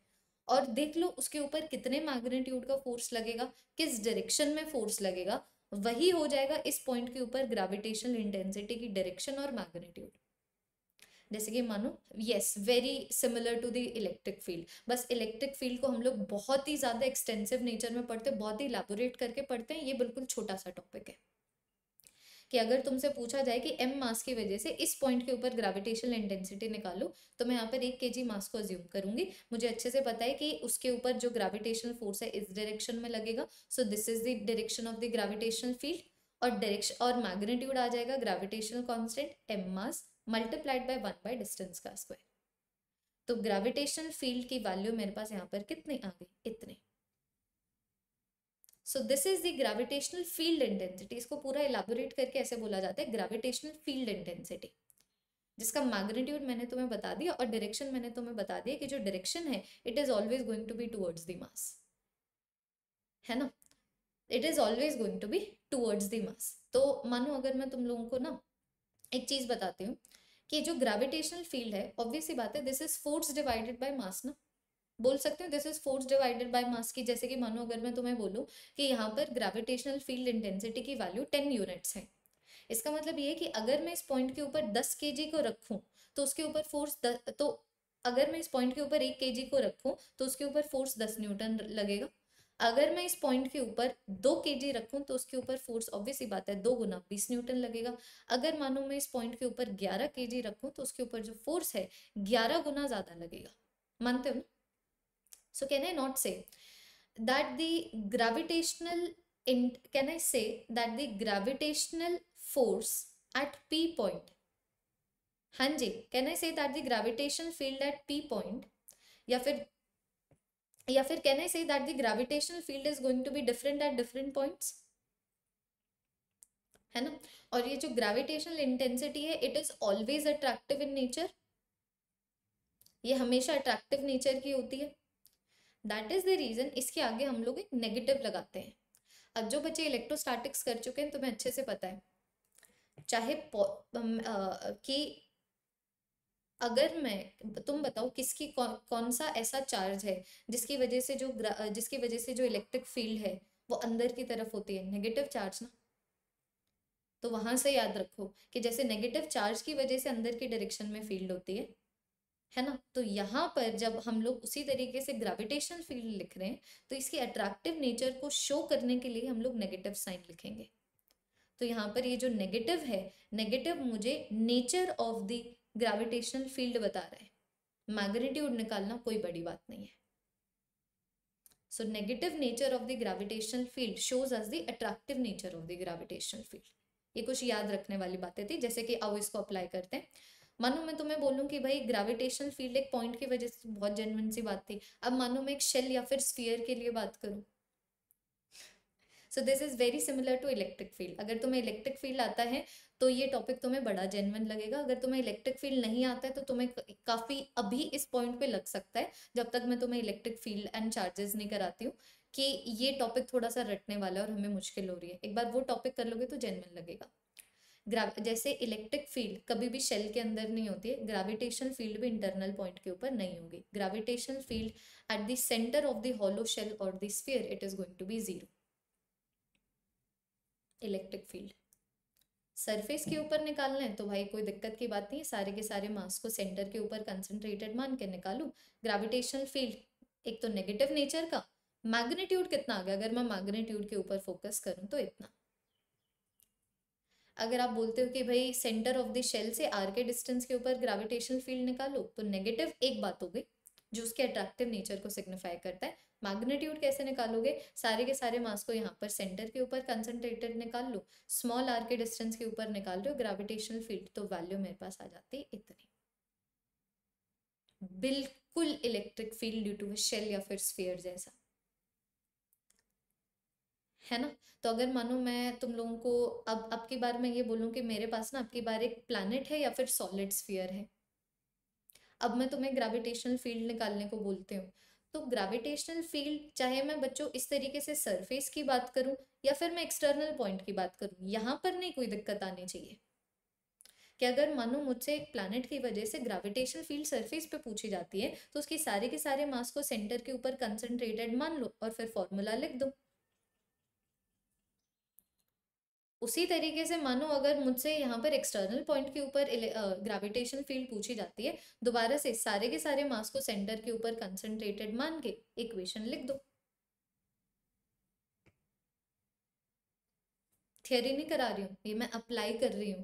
तो मैं बता रही हूँ, अगर तुम्हारा इलेक्ट्रिक फ़ील्ड हो चुका है तो ये तो तुम्हें पूरा सेम लग रहा होगा। और इन केस मानो अगर तुम्हें इंटरनल पॉइंट के ऊपर पूछी जाए तो सेम चीज़ मैंने जो तुम्हें ग्रेविटेशन एक्सेलरेशन में बताई थी, देखो सेम चीज़ यहाँ पर बता रही हूँ कि मानो तुम्हारे पास कोई प्लैनेट या फिर कोई सॉलिड स्फीयर है। Same cheese electric field due to a sphere में तुम लोग करते हो। तो अगर मानो प्लैनेट के किसी इंटरनल पॉइंट के ऊपर मानो इस तरीके से एक प्लैनेट है, ये जो प्लैनेट है, इसका जो मास है इट इज़ कैपिटल एम इसके रेडियस की वैल्यू है कैपिटल आर मैंने तुम्हें बोला इसके इंटरनल पॉइंट है, ऐसे सेंटर से स्मॉल आर के डिस्टेंस के ऊपर, यहाँ पर ग्रेविटेशनल फ़ील्ड निकालो। तो तुम्हें क्या करना है? ये छोटे वाला स्फीयर को स्टडी करो। इस छोटे वाले स्फीयर की सरफेस के ऊपर देखो कितनी ग्रेविटेशनल फ़ील्ड है। सेम जो मैं एक्सेलरेशन के लिए करवा रही थी। तो मास तो तुम लोग अब यहाँ पर देखो, यहाँ पर ग्रेविटेशनल फ़ील्ड कितना आ जाएगा? छोट ग्रेविटेशनल कांस्टेंट मल्टीप्लाइड बाय छोटे वाले स्फीयर का मास डिवाइडेड बाय छोटे वाले स्फीयर के रेडियस का स्क्वायर तो तुम्हें छोटे वाले स्फीयर का मास निकालना है ना यूनिटरी मेथड से निकालो कि भाई अगर पूरा का पूरा कैपिटल एम मास इतनी वॉल्यूम में डिस्ट्रीब्यूटेड है, मुझे कायदे से डेरिवेशन करानी नहीं चाहिए बट कुछ कुछ चीज़ें हैं इंपॉर्टेंट अगर उसमें थोड़ा सा एक्स्ट्रा टाइम लग जाता है ना तो मुझे लगता है वो लगना चाहिए। है ना? तो अगर पूरा का पूरा मास इतने में डिस, में डिस्ट्रीब्यूटेड है तो मैं वो छोटा एम मास निकाल रही हूँ जो इतनी वॉल्यूम में डिस्ट्रीब्यूटेड है। तो ये वाली वैल्यू मेरे पास कितने आ गई? कैपिटल एम स्मॉल आर का cube divided by capital R का क्यूब सब्सटीट्यूट कर दोगे तो तुम्हारे पास मेन फॉर्मूला आ जाएगा कि ग्रेविटेशनल फ़ील्ड इनसाइड पॉइंट के ऊपर कितनी होती है? नेगेटिव नेचर की होती है। मैग्नीट्यूड कितना आ गया? G capital M small r का cube divided by capital R का sorry divided by capital R का क्यूब यहाँ पर आ गया स्मॉल आर सेम चीज़ तुम लोग इलेक्ट्रोस्टैटिक्स में करते हो, मैं तुम्हें वही बोल रही हूँ। अगर इलेक्ट्रिक चार्जेस एंड फ़ील्ड हो चुका है तो ये तुम लोग को रटने वाला नहीं लगेगा। अगर वो नहीं हुआ है तो तुम्हें रटने वाला लगेगा, क्योंकि ये सारे टॉपिक्स ना एक्स्ट्रा छोटे छोटे बोनस बोनस से टॉपिक्स हैं। छोटे छोटे से एडिशनल टॉपिक्स हैं। ये देखिए। बिल्कुल सेम फॉर्मूला वहाँ पर आता है। Electric field inside the planet it is one by four pi epsilon और जैसे यहाँ पर ग्रेविटेशनल कांस्टेंट है मास ऑफ़ द प्लैनेट की जगह वहाँ पर चार्ज ऑन द स्फीयर आता है। ये आ गया कैपिटल आर स्मॉल आर ये आ गया कैपिटल आर का क्यूब सेम है ना? तो अब मैं यहाँ पर ग्राफ में दोनों चीज़ों को प्लॉट कर सकती हूँ। देखना बच्चों, अब मानो अगर मैं तुम्हें बोलूँ कि भाई शेल के लिए और प्लैनेट के लिए ग्राफ बनाओ तो ये सारे क्वेश्चन हो गए ना? ये सारे क्वेश्चन हो गए, अब की बार मैं सिर्फ़ तुमसे मैग्नीट्यूड प्लॉट करने को बोल रही हूँ, है ना? कि भाई जो ग्रेविटेशनल फ़ील्ड शेल की वजह से है, उसके मैग्नीट्यूड को डिस्टेंस फ्रॉम द सेंटर के साथ प्लॉट करो। तो तुम बोलोगे कि यार दी, जब से, जब तक हम लोग सेंटर से लेके सरफेस तक नहीं आते हैं, तब तक तो ग्रेविटेशनल फ़ील्ड है नहीं। फिर एक बार जब हम लोग सरफेस के ऊपर आ गए तब मेरे पास ग्रेविटेशनल फ़ील्ड आ गई। है ना? मैग्नेट्यूड की बात करें, तब ग्रेविटेशनल फ़ील्ड आ गई। और फिर बाद में जब हम लोग सेंटर से दूर जा रहे हैं, देखो ना, फिर जब हम लोग सेंटर से दूर जा रहे हैं तो ग्रेविटेशनल फ़ील्ड डिस्टेंस के स्क्वायर के साथ फॉल करती है। So this gives me the graph तो ये सारे तो क्वेश्चंस हैं। वैसे मानो आपके बारे में प्लानट के लिए बोल दूँ।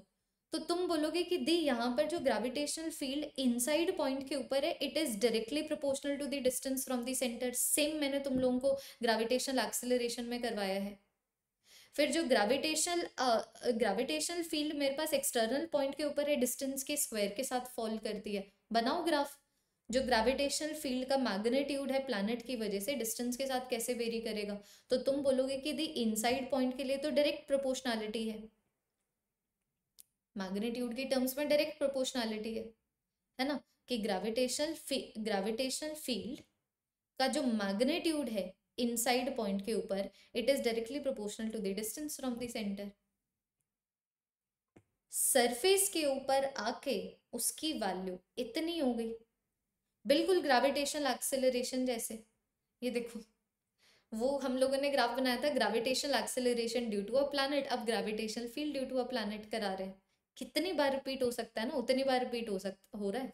और फिर एक्सटर्नल पॉइंट के ऊपर जो ग्रेविटेशनल फ़ील्ड का मैग्नेट्यूड है, वो डिस्टेंस के साथ ऐसे फॉल ऑफ़ करता है। Same graph for the gravitational acceleration due to the and gravitational field due to a planet I am hoping that these things are extremely clear to each and every one. देखिए gravitational intensity किसी भी point के ऊपर निकालोगे, मैंने तुम्हें बता दिया gravitational intensity force by mass है ना? तो मानो अगर मैं तुम लोगों को अगर मैं तुम्हें बोल रही हूँ फोर्स बाय मास है तो ऑब्वियस सी बात है कि ये भी एक वेक्टर होगा।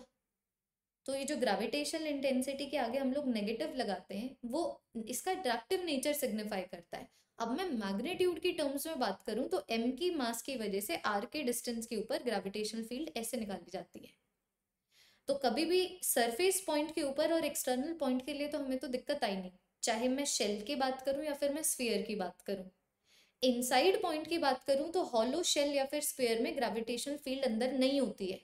मतलब अगर तुम हॉलो स्फीयर या फिर शेल के अंदर कोई पॉइंट रख रहे हो, मानो यहाँ पर मैं बीच में दो के जी रख दू, इसके ऊपर कोई फोर्स नहीं लगेगा। सेम चीज़ इलेक्ट्रोस्टैटिक्स में तुम लोग करते हो इलेक्ट्रोस्टैटिक शील्डिंग कभी एक कंडक्टर के अंदर चार्ज रखोगे, उस चार्ज के ऊपर कोई फोर्स नहीं लगेगा। वैसे तुम हॉलो शेल या फिर स्फेयर के अंदर कोई मास रखोगे, उस मास के ऊपर कोई फोर्स नहीं लगेगा। क्योंकि हॉलो शेल या फिर स्फेयर के अंदर कोई ग्रेविटेशनल फ़ील्ड नहीं है।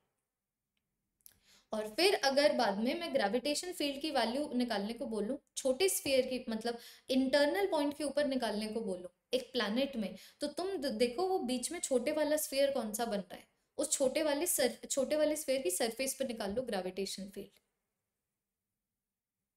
ये देखिए तो मैं, मैंने यहाँ पर ये लिखा हुआ है gravitation field is always negative हमेशा नेगेटिव लगाते हैं, क्योंकि उसके अट्रैक्टिव नेचर को सिग्निफाई करती है। और दूसरी चीज़ मैं तुम्हें ये बता रही थी देखो, दूसरी चीज़ मैं तुम्हें ये बता रही थी ग्रेविटेशनल फ़ील्ड एक पॉइंट के ऊपर, जैसे जैसे मानो मैं तुम्हें बोलूँ कि ग्रेविटेशन इस पॉइंट के ग्रेविटेशनल फ़ील्ड इस पॉइंट के ऊपर बारह यूनिट है। इसका मतलब क्या? अगर मैं एक के को रखूँ तो उसके ऊपर फोर्स लगता है बारह न्यूटन अगर मैं यहाँ पर दो के को रखूँ तो उसके ऊपर फोर्स लगता है चौबीस न्यूटन। तो मैं बोल सकती हूँ ना कि जो ग्रेविटेशनल फ़ील्ड किसी भी पॉइंट के ऊपर है इट इज़ उस पॉइंट के ऊपर रखे हुए एम मास के ऊपर कितना फोर्स लग रहा है डिवाइडेड बाय एम मास देखिए, देख पा रहे हैं ना, ये पूरे डिस्कशन की समरी दे रही हूँ मैं। तो यहाँ से मैं यूनिट्स एंड डिमेंशंस निकाल सकती हूँ, याद नहीं रखे जाते। मानो मैं तुमसे पूछूँ कि भाई ये जो मेरे पास ग्रेविटेशनल फ़ील्ड है, देखिएगा अगर मानो, मैं तुमसे पूछूँ कि भाई ये जो ग्रेविटेशनल फ़ील्ड है, इसके यूनिट्स क्या है? तो फोर्स बाय मास है। फोर्स बाय मास है तो न्यूटन पर केजी न्यूटन को पूरा खोल के भी लिख सकते हो तुम लोग। K G metre per second square ये मेरे पास आ गया के जी पर मीटर तो ये मेरे पास आ गया मीटर पर सेकेंड स्क्वायर अगर मानो, मैं तुम्हें बोलूँ कि भाई इसके डिमेंशंस लिखो तो यार एक्सेलरेशन वाले डिमेंशंस आएँगे। एक्सेलरेशन में फोर्स बाय मास होता है, ये भी फोर्स बाय मास होता है तो ये मेरे पास आ गया एल टी माइनस टू रटने वाली बातें नहीं है ये।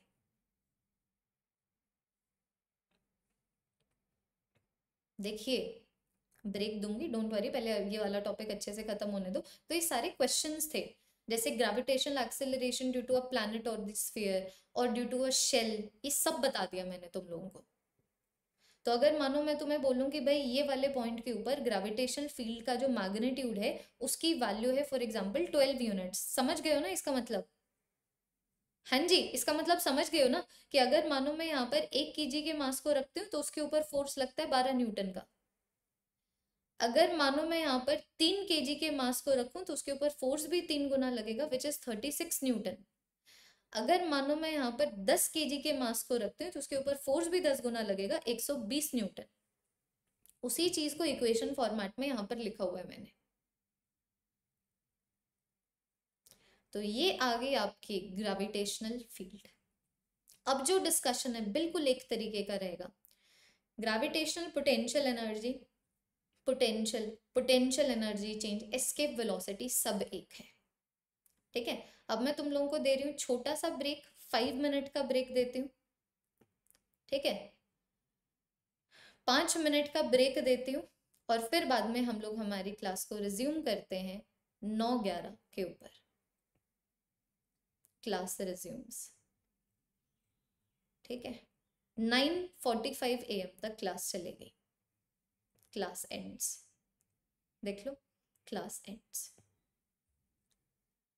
कुछ ज़्यादा ही क्वेश्चन करवा दिए। यार, ये ग्रेविटेशनल एक्सेलरेशन को हम लोगों ने थोड़ा सा ज़्यादा खींच दिया, जैसे कि अब तुम लोगों को पूरा क्लियर हो चुका है ग्रेविटेशनल एक्सेलरेशन लेकिन बात यह ना कि कंसेप्चुअल क्लैरिटी पूरी आनी चाहिए थी। मैथमेटिकल क्लैरिटी के लिए तीन बजे वाले सेशन है, लेकिन वो मैथमेटिकल क्लैरिटी तुम्हें आज ही आ गई। इसी वाले सेशन में आ गई।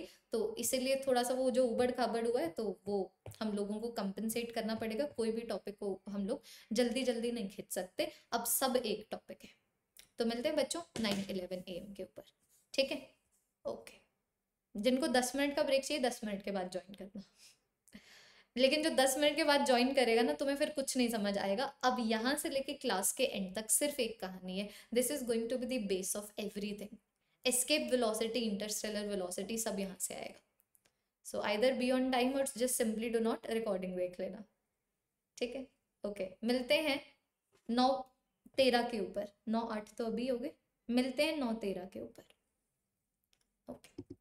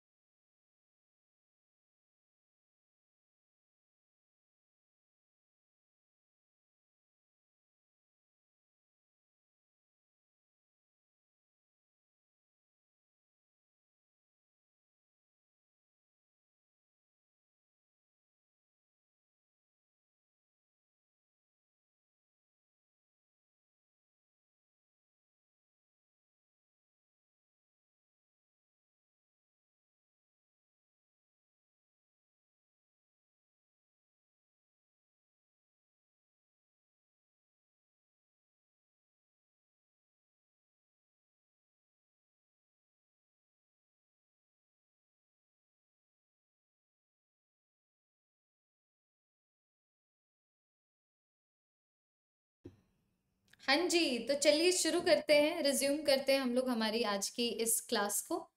अब बच्चों सेम कहानी है।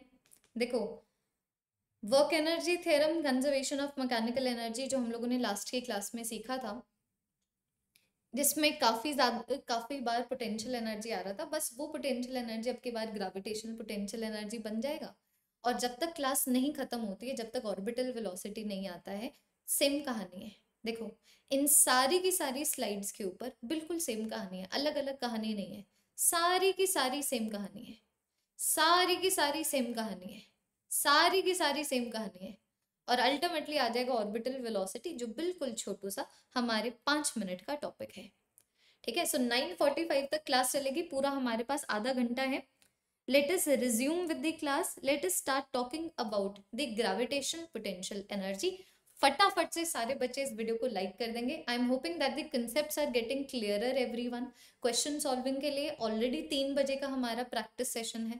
ठीक है so don't worry about it at all अभी तुम लोगों को सिर्फ़ कंसेप्ट जानने और कंसेप्ट को रिकॉल करने अगर ये वाले चैप्टर को ऑलरेडी पढ़ चुके हो। ठीक है? चलिए तो ग्रेविटेशनल पोटेंशियल एनर्जी की बात करूँ ना तो इट इज़ बेसिकली कि अगर मानो मेरे पास दो बॉडीज़ हैं, दो बॉडीज़ हैं, दो प्लैनेट्स हैं, एक एक पॉइंट मास है, दूसरी बॉडी और वट है ना? अगर मेरे पास दो मासेस हैं, एक दूसरे को अट्रैक्ट कर रहे हैं तो तुम देखो ना, अगर मानो ये दोनों मासेस बच्चों इन्फिनिटी के ऊपर होते तब तो कोई अट्रैक्टिव फोर्स नहीं था। लेकिन अभी इन दोनों के बीच में दूरियाँ कम हो गई, अब अट्रैक्टिव फोर्स आ गया। पहले कोई अट्रैक्टिव फोर्स नहीं था, अब अट्रैक्टिव फोर्स आ गया। तो स्टेबिलिटी बढ़नी चाहिए। स्टेबिलिटी बढ़नी चाहिए मतलब एनर्जी कम होनी चाहिए। तो यही बोला जाता है कि जो ग्रेविटेशनल पोटेंशियल एनर्जी इन्फिनिटी के ऊपर ज़ीरो होती है तो ज़ीरो से कम होके नेगेटिव ही जाएगी ना। समझे ना कि जो ग्रेविटेशन पोटेंशियल एनर्जी है, दो मासेस के बीच में इन्फिनिटी के ऊपर उसकी वैल्यू ज़ीरो होती है। अब इन्फिनिटी से अगर मैं दोनों मासेस के बीच में डिस्टेंस को कम कर दूँ तो पहले जो अट्रैक्टिव फोर्स नहीं लग रहा था, अब लग रहा है। तो ऑब्वियस ही बात है, अब वो स्टेबिलिटी लेके आएगा पोटेंशियल एनर्जी को डिक्रीज करेगा। तो जो पहले ज़ीरो थी, अब वो नेगेटिव हो जाती है, क्योंकि ज़ीरो से डिक्रीज करके तुम लोग नेगेटिव तक ही आओगे। तो कितनी ग्रेविटेशनल पोटेंशियल एनर्जी बनेगी, ये देख लो। इट इज़ ग्रेविटेशनल कॉन्स्टेंट पहले वाले का मास दूसरे वाले का mass divided by the distance between them this is the formula of the gravitation potential energy between the two masses चाहे बच्चों, ये दो मासेस हमारे पॉइंट मासेस हो ठीक है? या फिर चाहे मैं दो प्लैनेट्स के बीच में निकालूं जैसे कि मानो मैं तुम्हें बोलूँ कि भाई मेरे पास ये दो प्लैनेट्स हैं। एक का मास है एम वन दूसरे का मास है एम टू दोनों के बीच, दोनों के सेंटर के बीच में जो डिस्टेंस है, मानो अगर मैं उसको आर ले लूँ। तो अब अगर मैं तुम्हें बोलूँ कि इन दोनों के इंटरक्शन की वजह से ग्रेविटेशनल पोटेंशियल एनर्जी कितनी है so it is going to be negative of the gravitational constant पहले वाले का मास, दूसरे वाले का मास, दोनों के सेंटर के बीच में जो डिस्टेंस है, वो आ गया डिनोमिनेटर में। चाहे मैं इस तरीके से प्लानट और मास के बीच में ले लूँ। ठीक है? कि भाई मेरे पास ये प्लानट है कैपिटल एम मास का, इसकी सरफेस के ऊपर मैंने स्मॉल एम मास रखा है।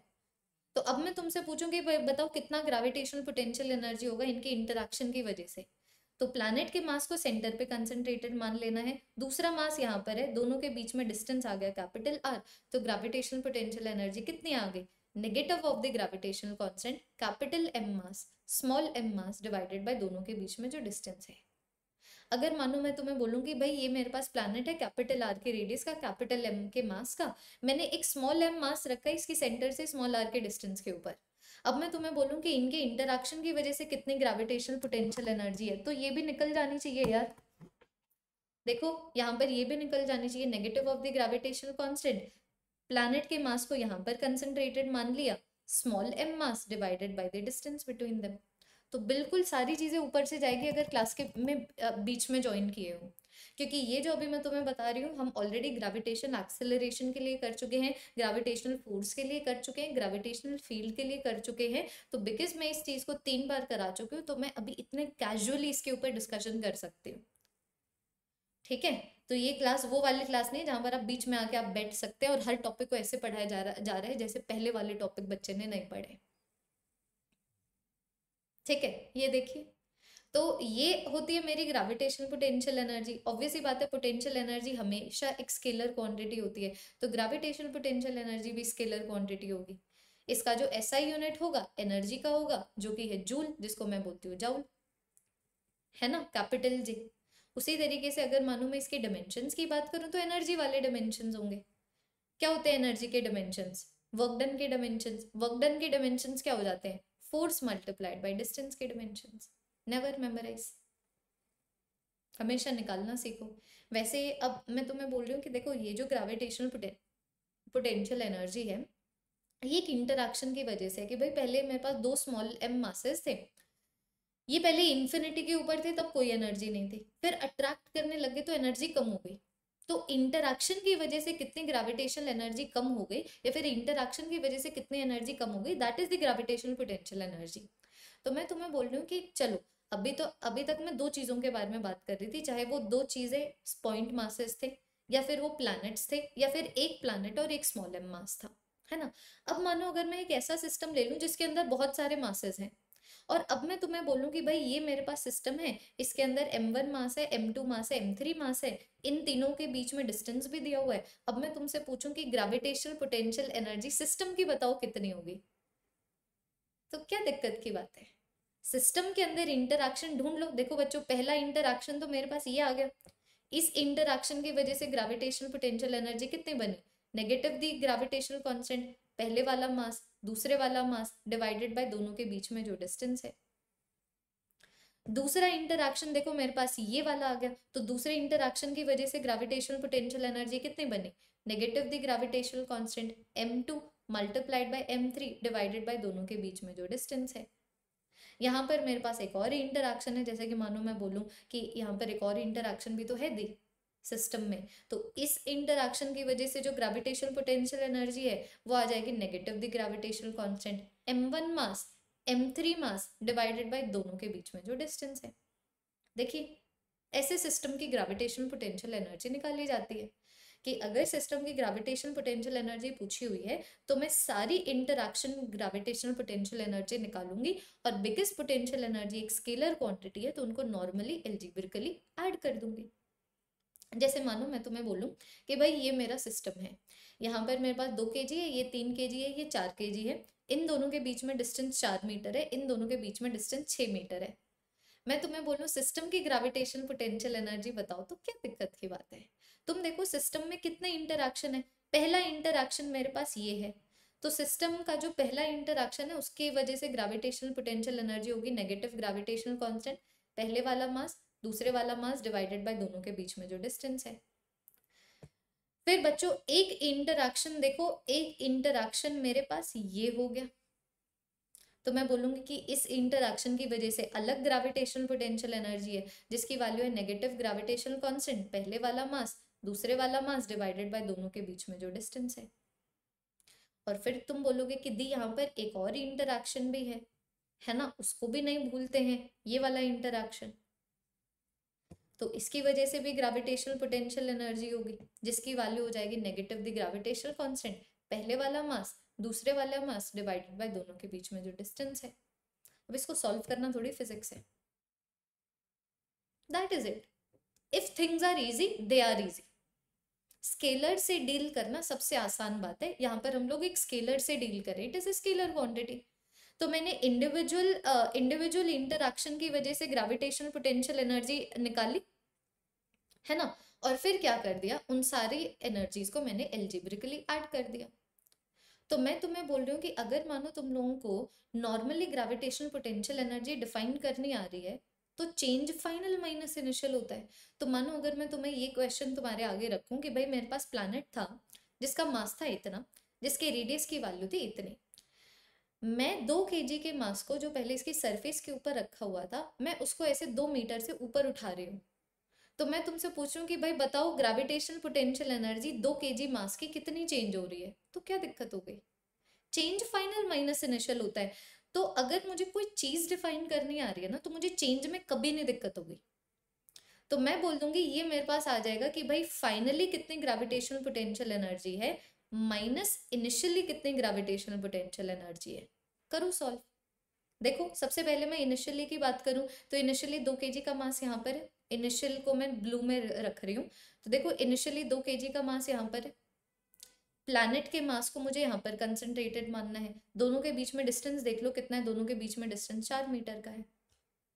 So what is the initial gravitational potential energy negative of the gravitational constant मेरे पास दो के का मास मल्टीप्लाइड बाय प्लैनेट का मास, दोनों के बीच में जो डिस्टेंस है। अगर मैं कोई चीज़ डिफाइन कर पा रही हूँ तो चेंज फाइनल माइनस इनिशियल होता है। और फिर बाद में अब मैं यहाँ पर फाइनल ग्रेविटेशन पोटेंशियल एनर्जी भी निकाल लूँगी। तो फाइनली मेरा दो के का मास यहाँ पर जा चुका है। तो दो के के मास में और सेंटर ऑफ़ द प्लानट के बीच में अब जो डिस्टेंस है, वो छ मीटर है। देखो, ध्यान से देखो। ये दो मीटर है, ये चार मीटर है। तो तुम देखो ना, अब की बार यहाँ पर ये, जहाँ पर मैं दो के को, दो के की बॉडी है और ये जो मेरा सेंटर ऑफ़ द प्लानट है, जहाँ पर मुझे तीन के मानना है इन दोनों के बीच में डिस्टेंस मेरे पास कितना है? छ मीटर है।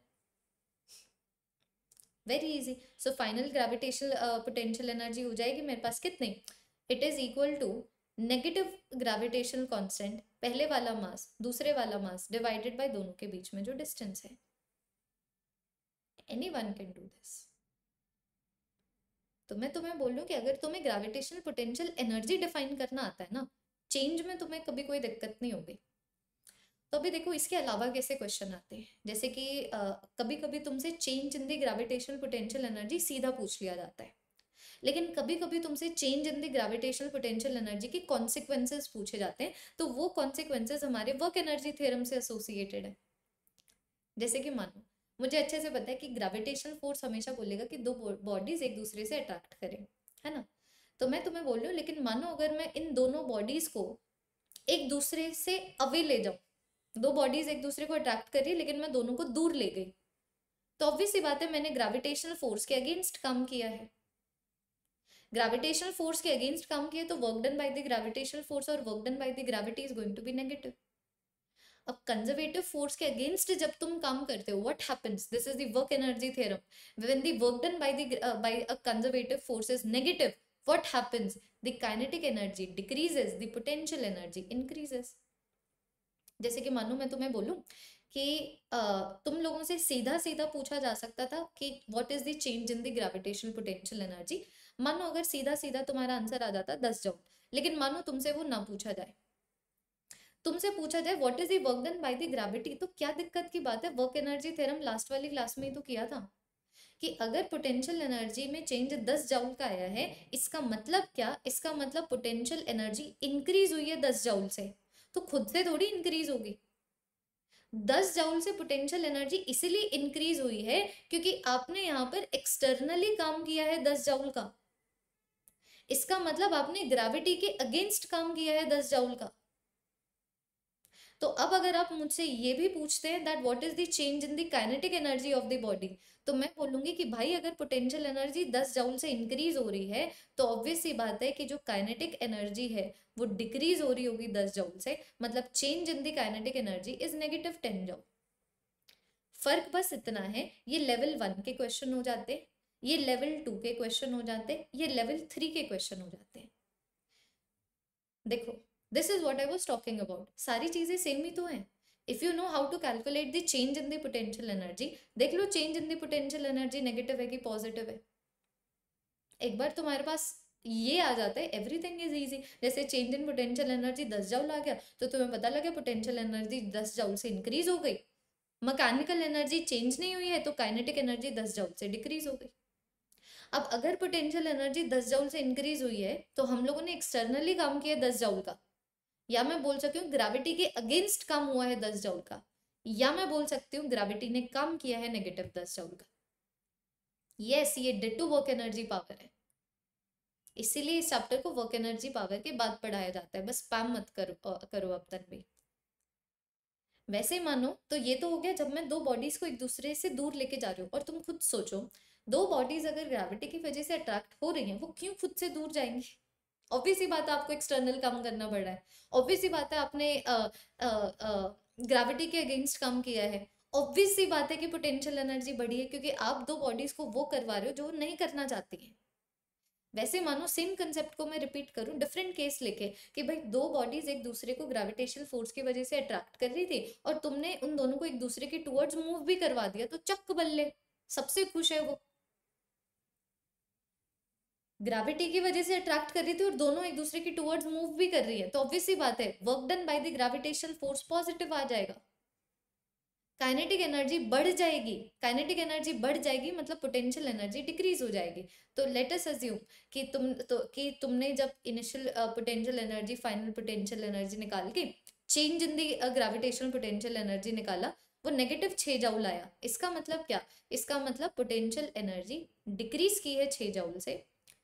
इसका मतलब जो यहाँ पर मैकेनिकल इसका मतलब यहाँ पर जो काइनेटिक एनर्जी है, देखना, इसका मतलब यहाँ पर जो काइनेटिक एनर्जी है, वो इंक्रीज करेगी छः जाउल से। क्यों काइनेटिक एनर्जी इंक्रीज हुई छः जाउल से? क्योंकि यहाँ पर ग्रेविटी ने काम किया छः जाउल का। This is work energy theorem आपको अगर, आप आप अगर पिछली क्लास में नहीं आए थे, मैं क्या कर सकती हूँ बताओ? This is work energy theorem chapter number six class eleventh physics में कराया जाता है, जो हमारा पिछला सिंगल शॉट था। So this is what I am talking about या तुमसे change in the gravitational potential energy पूछा जाए, तुमसे change in the kinetic energy पूछा जाए, तुमसे work done by the gravity पूछा जाए, तुमसे work done by the external force पूछा जाए सबको सॉल्व करने का एक ही तरीका है। सबसे पहले change in the potential energy निकालो। जैसे कि यहाँ पर अगर मानो मैं इसको सॉल्व करती हूँ तो ये मेरे पास आ गया नेगेटिव जी और ये वाली वैल्यू मेरे पास कितनी आ गई? Negative one point five capital G है ना? तो ये वाली वैल्यू मेरे पास आ गई positive zero point five capital G इसका मतलब तुम समझ रहे हो? इसका मतलब क्या? चलो इन्होंने change in the potential energy पूछ लिया, ये तो मैंने निकाल लिया। और चीज़ें भी तो पूछ सकते थे ना? तो मैं बोल रही हूँ, हमेशा change in the potential energy निकालो और चीज़ें तो बता दोगे। इसका मतलब क्या? इसका मतलब ग्रेविटेशनल पोटेंशियल एनर्जी इंक्रीज हो गई 0.5 कैपिटल जी जाउल से। इसका मतलब जब एम मास को आप यहाँ से लेके यहाँ तक लेके जाओगे तो जो काइनेटिक एनर्जी है, दो के जी मास की, वो डिक्रीज करेगी इतनी वैल्यू से। पोटेंशियल एनर्जी इसलिए इंक्रीज हुई है क्योंकि आपने ग्रेविटी के अगेंस्ट काम किया है। मतलब ग्रेविटी ने जो काम किया है, उसकी वैल्यू आ गई इतनी। इसका मतलब आपने जो ग्रेविटी के अगेंस्ट काम किया है, ये देखो सारे डिफरेंट क्वेश्चंस हो गए। जो आपने ग्रेविटी के अगेंस्ट काम किया है, उसकी वैल्यू है इतनी। इसका मतलब आपने जो एक्सटर्नली काम किया है उसकी वैल्यू आ गई इतनी। एक ही क्वेश्चन में पाँच क्वेश्चन करवा दिए। चाहे change in the gravitational potential energy पूछा जाए या ये पूछा जाए या ये पूछा जाए या ये पूछा जाए या ये पूछा जाए। कहने को पाँच क्वेश्चन है। सिर्फ़ कहने को पाँच क्वेश्चन है। सो so, हमेशा change in the gravitational potential energy निकालो। अगर पोटेंशियल एनर्जी में चेंज पॉजिटिव आ रहा है मतलब आपने एक्सटर्नली काम किया है ग्रेविटी के अगेंस्ट काम किया है ग्रेविटी ने नहीं काम किया है। पोटेंशियल एनर्जी इंक्रीज हो रही होगी तो काइनेटिक एनर्जी डिक्रीज होगी। यही सारी चीज़ें हम लोगों ने लास्ट की क्लास में की थी। तो मैं तुम्हें बोल रही हूँ कि जो ग्रेविटेशनल पोटेंशियल होता है ना, गौर फरमाइएगा। जैसे हम लोगों ने ग्रेविटेशनल फोर्स के बाद ग्रेविटेशनल फ़ील्ड किया, उसी तरीके से हम लोग ग्रेविटेशनल पोटेंशियल एनर्जी के बाद ग्रेविटेशनल पोटेंशियल पढ़ रहे हैं।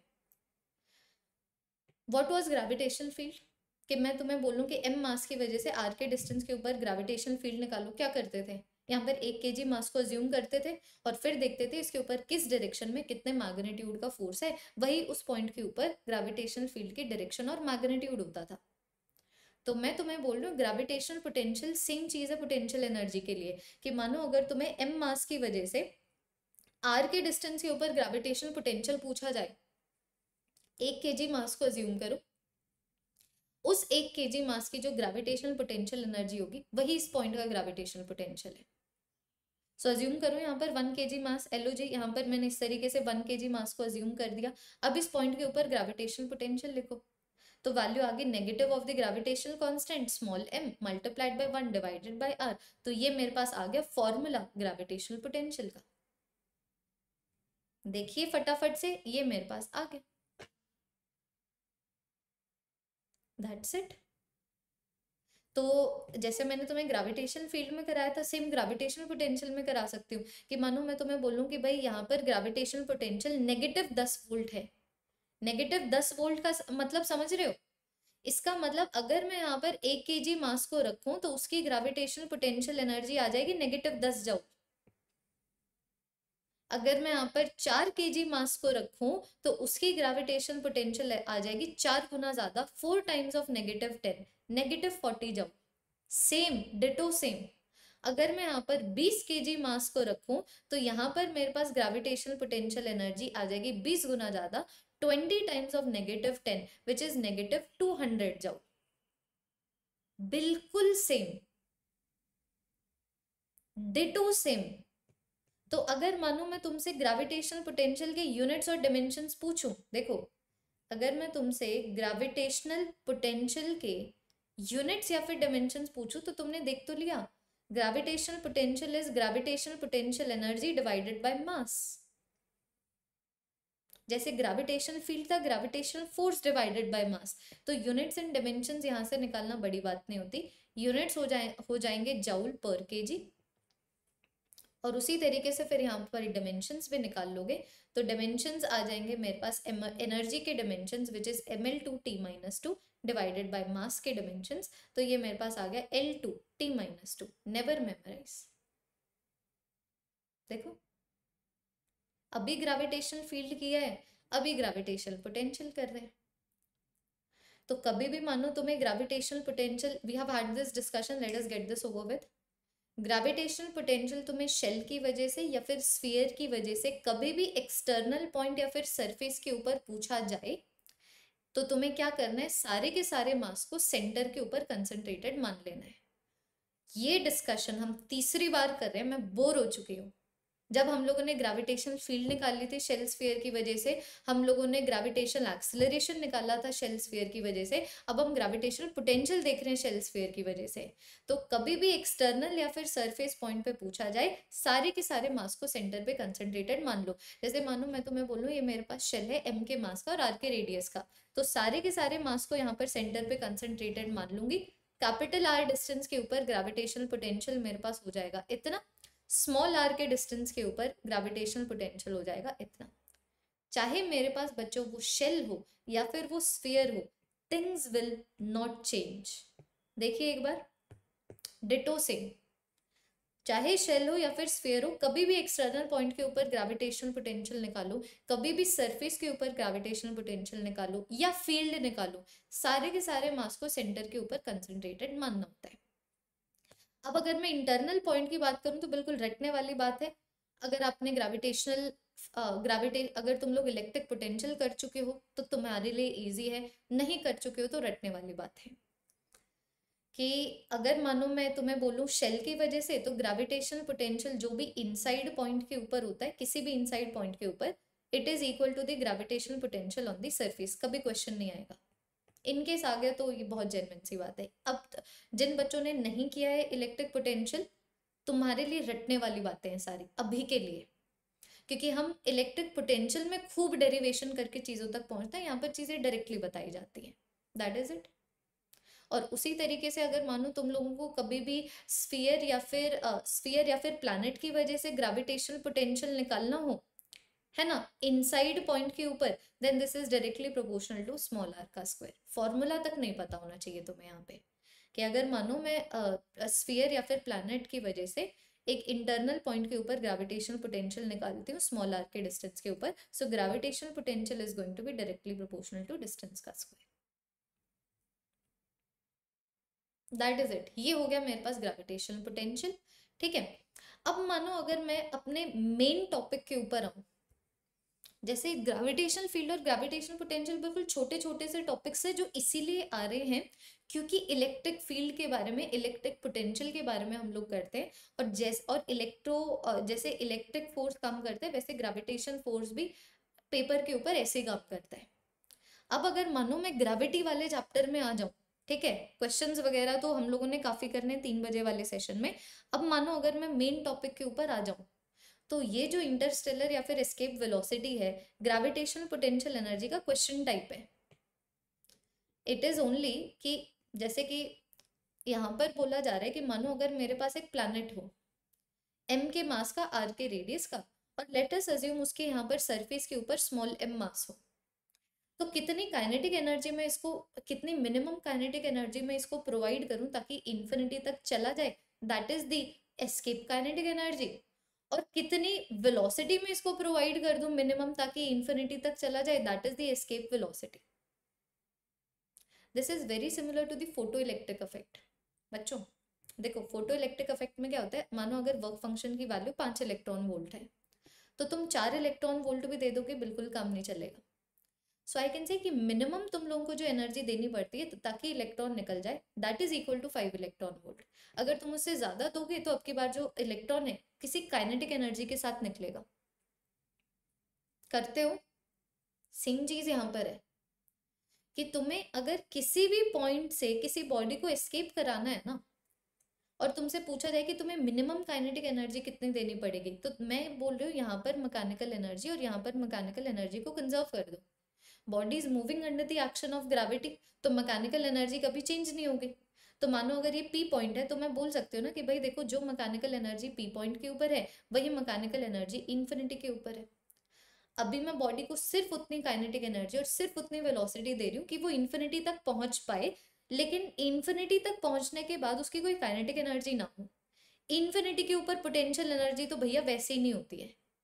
तो आई कैन से कि भाई mechanical energy at P point should be equal to zero plus zero तो can I say that negative G capital M small M by capital R plus plus escape kinetic energy should be equal to zero तो तुम क्या यहाँ पर देख पा रहे हो कि अगर मुझे किसी भी पॉइंट के ऊपर एस्केप काइनेटिक एनर्जी निकालनी हो तो मुझे सिर्फ़ उस पॉइंट के ऊपर ग्रेविटेशनल पोटेंशियल एनर्जी का मैग्नीट्यूड देखना होता है। ये बच्चों को कभी नहीं पता लगता। उनको लगता है अगर दो प्लैनेट के बीच में किसी पॉइंट के ऊपर एस्केप वेलोसिटी पूछी जाए तो वेरी डिफ़िकल्ट क्वेश्चन हो गया। कैलकुलेटिव हो गया वेरी डिफ़िकल्ट तुम कंसेप्ट के बेसिस पे नहीं बोल सकते। कि तुम देखो ना, जैसे कि मैं इसको और अच्छे से समझाऊं, ये तो सिंपल डेरिवेशन है। मानो मैं तुम्हें बोलूँ कि यहाँ पर जो ग्रेविटेशनल पोटेंशियल एनर्जी नेगेटिव दस जाउल है। तो मैं यहाँ पर मानो अगर मैकेनिकल एनर्जी को कंजर्व करूँ तो मैं बोल दूँगी ना मैकेनिकल एनर्जी पी पॉइंट के ऊपर और इन्फिनिटी के ऊपर सेम है। पी पॉइंट के ऊपर आगे कितनी ग्रेविटेशनल पोटेंशियल एनर्जी है प्लस मैंने कितनी एस्केप काइनेटिक एनर्जी दी है।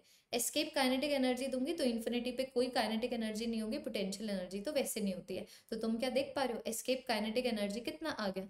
टेन जाओ तो किसी भी पॉइंट के ऊपर तुमसे कभी भी एस्केप वेलोसिटी पूछी जाए ना फोकस करो एस्केप काइनेटिक एनर्जी निकालने पे।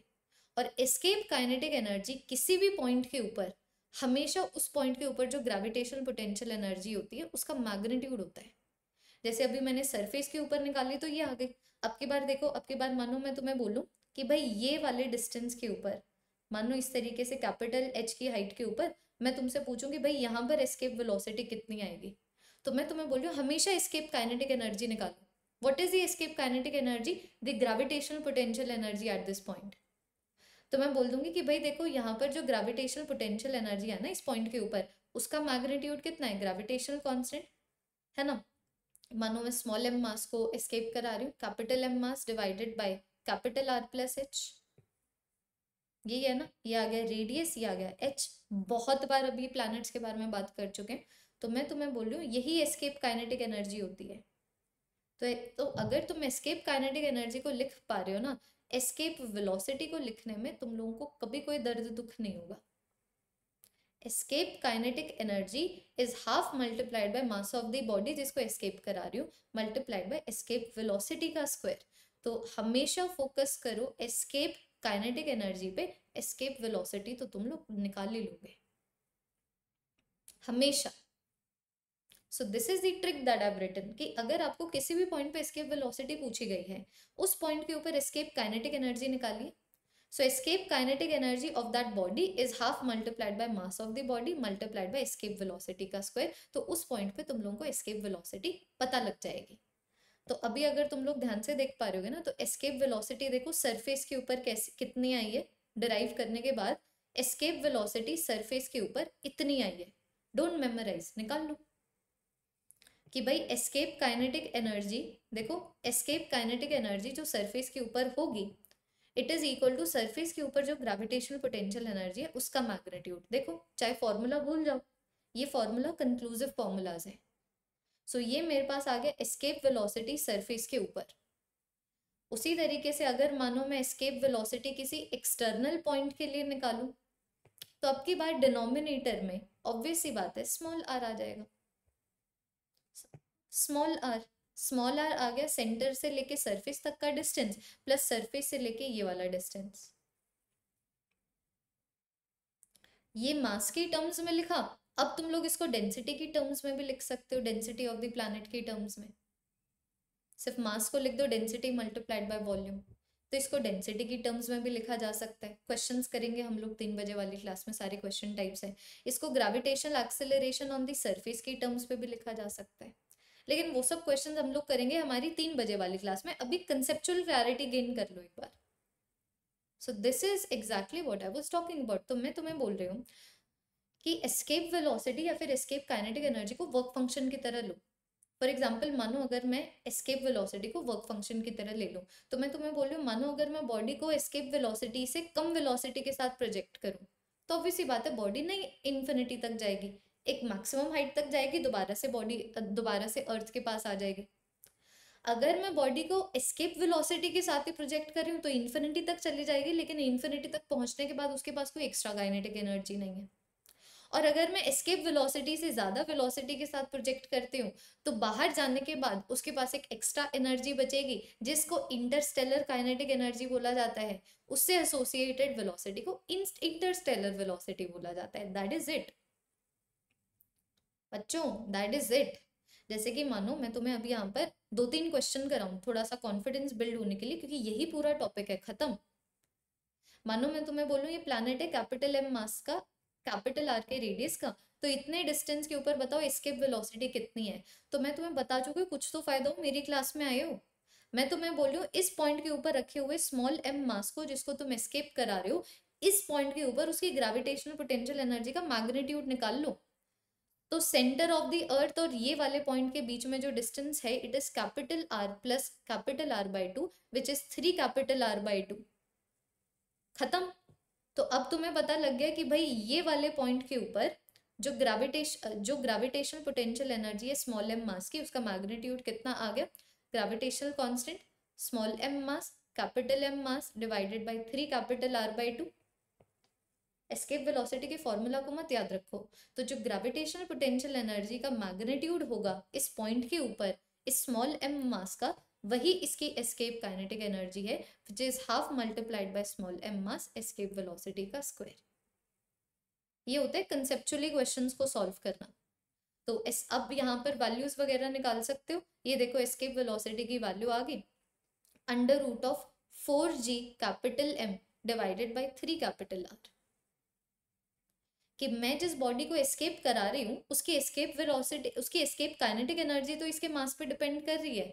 लेकिन एस्केप वेलोसिटी इसके मास के ऊपर डिपेंड ही नहीं कर रही है। मानो मैं तुम लोगों को बोलूँ कि भाई मैंने बॉडी की सरफेस से बॉडी को प्रोजेक्ट किया एस्केप वेलोसिटी से आधी वेलोसिटी के ऊपर। अब मैं तुमसे पूछूँ कि भाई बताओ ये बॉडी कितनी मैक्सिमम हाइट पे जाएगी? तो बच्चा जी कंजर्वेशन ऑफ़ मैकेनिकल एनर्जी एक तो ये क्वेश्चन आगे एस्केप वेलोसिटी को निकालने वाले। क्वेश्चन तो ऑब्वियसली बात है, तीन बजे वाला सेशन है हमारे पास। अभी कंसेप्ट के ऊपर फोकस करते हैं। मैं तुम्हें यही ट्रिक दे रही थी कि एस्केप वेलोसिटी किसी भी पॉइंट के ऊपर कि तुम एक बॉडी के निकालना चाहते हो, उस बॉडी की ग्रेविटेशनल पोटेंशियल एनर्जी निकाल लो उस पॉइंट के ऊपर। उसका मैग्नेट्यूड ही एस्केप काइनेटिक एनर्जी है। तो देखो, मैंने तो नहीं फॉर्मूला लगाया, सिर्फ़ कंसेप्ट से हो गया। बाकी फॉर्मूला तुम यहाँ पर लगा सकते थे कि भाई अगर सेंटर ऑफ़ द प्लानट से डिस्टेंस इतना है तो एस्केप वेलोसिटी ऐसे निकलता है। लेकिन ये कंक्लूसिव फॉर्मूलाज है। अब की बात दूसरी चीज़ मैं तुम्हें ये बोल रही थी कि मानो अगर एस्केप वेलोसिटी से आ, कम वेलोसिटी के साथ प्रोजेक्ट करूँ तो बॉडी एस्केप नहीं करती है। मैक्सिमम हाइट तक जाती है फिर दोबारा से आ, हमारे प्लानट को हिट करती है। यही होता है ना? ये देख लो। ये एक क्वेश्चन मैं तुम्हें दे रही हूँ। मैं तुमसे पूछूँ बताओ कितनी मैक्सिमम हाइट तक जाएगा? तो मैकेनिकल एनर्जी की कंजर्वेशन ही तो करनी है कि इनिशियल मैकेनिकल एनर्जी इस पॉइंट के लिए और फाइनल मैकेनिकल एनर्जी इस पॉइंट के लिए डिफाइन करो। दैट इज़ इट तो अगर मानो मैं इनिशियल मैकेनिकल एनर्जी की बात करूँ तो यहाँ पर काइनेटिक एनर्जी कितना आ गया? Half multiplied by mass multiplied by escape velocity divided by two का स्क्वायर ग्रेविटेशनल पोटेंशियल एनर्जी की बात करूँ तो सेंटर ऑफ़ द प्लैनेट और ये वाले पॉइंट के बीच में जो डिस्टेंस है वो कैपिटल आर है तो ग्रेविटेशनल पोटेंशियल एनर्जी मेरे पास आ गई ये। फाइनल मैकेनिकल एनर्जी जो है तो फाइनल मैकेनिकल एनर्जी को अगर मानो मैं निकालने लगूं तो देखो अब की बार सेंटर ऑफ़ द प्लानट और ये वाले पॉइंट के बीच में डिस्टेंस को मानो मैंने स्मॉल आर ले लिया। तो मैं बोल दूँगी मैकेनिकल एनर्जी फाइनल पॉइंट पे आ गई यहाँ पर काइनेटिक एनर्जी तो है नहीं, तभी और ऊपर नहीं जा रहे। ऑब्वियसली बात है, यहाँ पर काइनेटिक एनर्जी ज़ीरो है फाइनल पॉइंट के ऊपर। और ग्रेविटेशनल पोटेंशियल एनर्जी हो गई मेरे पास, ये that is it initial mechanical energy is equal to the final mechanical energy solve it and you will get the answer अभी देखो प्योरली मैथमेटिकल है हाफ़ एम एस्केप वेलोसिटी का स्क्वायर मेरे पास आ गया इतना। देखो इतना डिवीज़न में एक यहाँ पर वन बाई फोर भी आ रहा है। ये मेरे पास आ गया, ये ये मेरे पास आ गया, ये, देखो। तो G capital M small M G capital M small M G capital M small M side में गया तो मेरे पास यहाँ पर क्या बचा? One divided by eight times of capital R minus one divided by capital R is minus one divided by small R so one divided by small R की वैल्यू मेरे पास आ गई one divided by capital R minus one divided by eight capital R which is seven divided by eight capital R तो मेरे पास small are की value आ गई eight capital R by seven I know कर लोगे, लेकिन फिर भी करना, मुझे कुछ और भी तो बताना है। तो ये वाला डिस्टेंस अगर तुम लोगों ने निकाल लिया eight capital R by seven तो ये हाइट निकालना बड़ी बात थोड़ी होगी। हाइट की वैल्यू आ गई कैपिटल आर माई हाँ जी हाइट की वैल्यू कितनी आ जाएगी? हाइट की वैल्यू देख लो, ये eight capital R by seven है, ये कैपिटल आर है तो ये eight capital R by seven minus capital R तो ये वाली वैल्यू आ गई eight capital R by seven minus capital R ये बोल रही हूँ मैं तुम लोगों को। ये सारे क्वेश्चन हैं। कंसेप्ट के ऊपर फोकस करो। क्वेश्चन के लिए ऑलरेडी हमारे पास क्लास है। आखिरी चीज़, कि मानो आपके बारे में स्केप वेलोसिटी से ज़्यादा प्रोजेक्ट करूँ।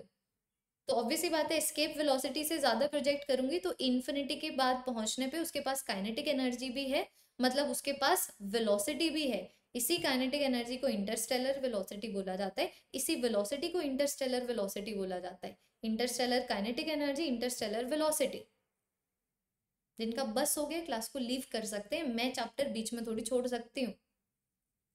इतने स्टूडेंट्स मुझ पे ऐसे थोड़ी ट्रस्ट करते हैं। चैप्टर बीच में छोड़ दूँगी क्योंकि कुछ बच्चों का बस हो गया। ये पढ़ने की आदत बच्चों इतनी डालो क्योंकि मुझे लगता है कि स्टूडेंट्स में सबसे बुरी आदत ही है। वो कुछ सोच के बैठेंगे, लेकिन बीच में छोड़ देते हैं। यू कैन डू दैट इतना तो परसिवरेंस तुम्हारे दिमाग में होना चाहिए कि जो करने को बैठे हो, अगर उसमें थोड़ा सा ज़्यादा टाइम लग रहा है तो ना तो उसको तुम ऊपर ऊपर से करोगे।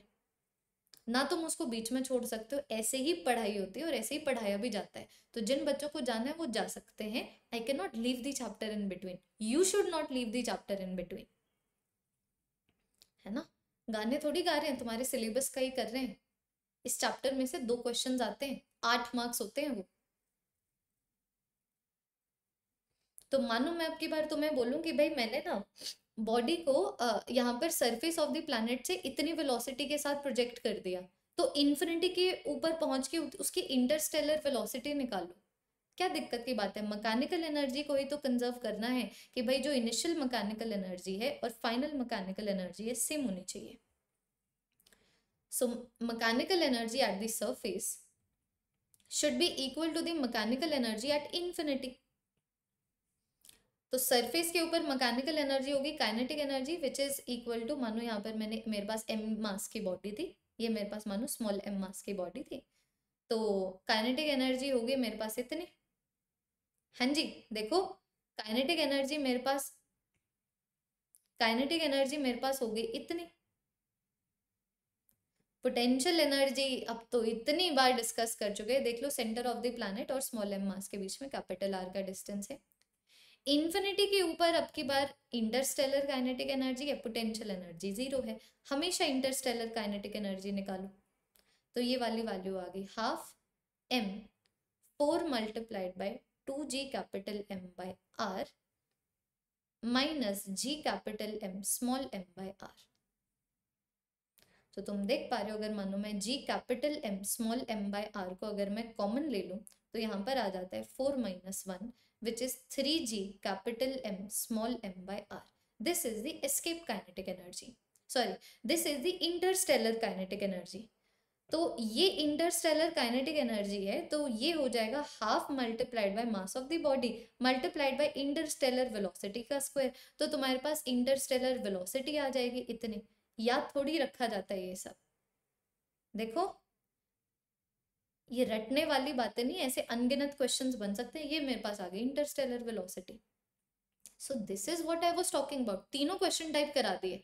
ऑब्वियसली बात है एक बार करवाना काफ़ी नहीं होता तो द रीजन बीइंग कि we are only focusing on the conceptual clarity कि भाई देखो चाहे मैं uh, उतनी वेलोसिटी से प्रोजेक्ट करूँ जो एस्केप वेलोसिटी से आधा है।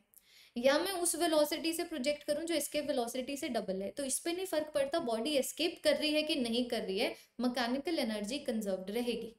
This was the concept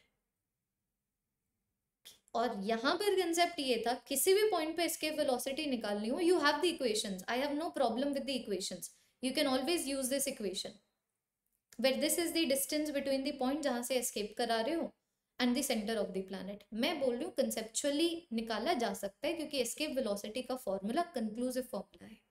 you don't remember that तो इस पॉइंट पे एस्केप वेलोसिटी निकालने के लिए मैं इस पॉइंट पे एस्केप काइनेटिक एनर्जी निकालूँगी, जो इस पॉइंट के ऊपर जो रखा हुआ स्मॉल एम मास है, जिसको मैं एस्केप कराना चाहती हूँ, उसके ग्रेविटेशनल पोटेंशियल एनर्जी का मैग्नेट्यूड है। तो तुम देख लो सारे इंटर रिलेटेड टॉपिक्स थे। अब अगर मैं ऑर्बिटल वेलोसिटी की बात करूँ, जो हमारा आखिरी टॉपिक है तो ऑर्बिटल वेलोसिटी वो वेलोसिटी है जिससे कोई भी सैटेलाइट अर्थ के अराउंड या फिर प्लैनेट के अराउंड घूमती है। यहाँ पर भी कोई इक्वेशन नहीं है। जैसे एस्केप वेलोसिटी में कोई इक्वेशन नहीं थी, वो तो कंक्लूसिव इक्वेशन थी जो बच्चे याद रख लेते हैं, तुम्हें याद रखने की ज़रूरत नहीं है। तो ऑर्बिटल वेलोसिटी वो वेलोसिटी है जिससे कोई भी सैटेलाइट प्लैनेट के अराउंड एक सर्कुलर ऑर्बिट में घूमेगा। तो कंसेप्ट बस इतना है, जैसे हम जब सन के अराउंड रिवॉल्व कर रहे होते हैं तो ग्रेविटेशनल फोर्स हमें सेंट्रीपिटल फोर्स प्रोवाइड करता है। यहाँ पर मानो अगर मैं बोलूँ कि भाई मेरे पास एक सैटेलाइट है स्मॉल एम के मास की, है ना? जो सेंटर ऑफ़ द अर्थ से स्मॉल आर के डिस्टेंस के ऊपर घूम रही है मतलब जो उसका रेडियस ऑफ़ द ऑर्बिट है स्मॉल आर है, अगर मानो उसकी वेलोसिटी वी नॉट है तो ये ऑब्वियस ही बात है, मैं लिख सकती हूँ कि भाई इसके ऊपर जो सेंट्रीपिटल फोर्स लग रहा है it is provided by the gravitational attractive force between the planet and the satellite.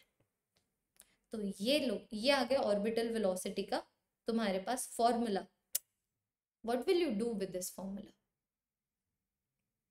what will you do with this formula concept यहाँ पर ये है, अगर ये प्लैनेट के अराउंड रिवॉल्व कर रहा है तो प्लैनेट और इसके बीच में जो ग्रेविटेशनल फोर्स है तो प्लैनेट का मास यहाँ पर कंसंट्रेटेड इसका मास यहाँ पर कंसंट्रेटेड दोनों के बीच में डिस्टेंस ये सो so, ये जो ग्रेविटेशनल फोर्स इन दोनों के बीच में लग रहा है that is providing the centripetal force to the satellite so that it can revolve around the planet तो centripetal force M V square by R होता है mass of the planet radius of the orbit of the plan sorry mass of the satellite radius of the orbit in which the satellite is revolving वो चाहिए। और ये वाली velocity इस velocity को orbital velocity बोला जाता है।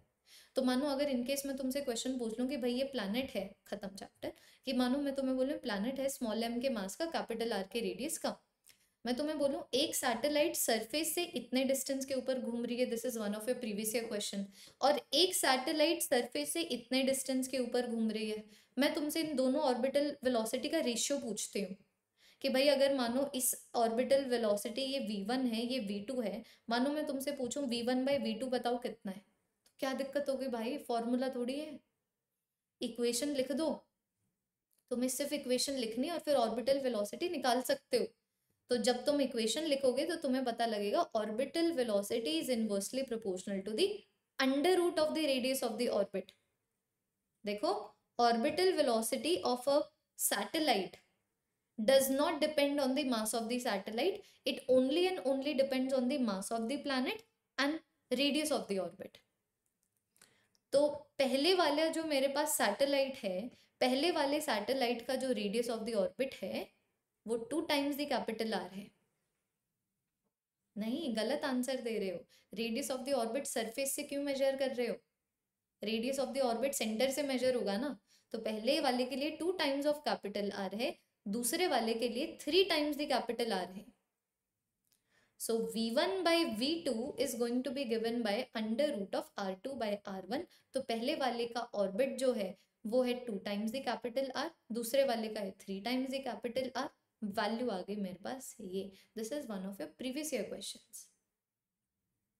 सब हो चुका है केपलर वेपलर देखिए। This is very easy the concept should be clear already बच्चों हमारे पास अब तीन बजे का प्रैक्टिस सेशन है। इसके अंदर क्वेश्चन प्रैक्टिस करेंगे।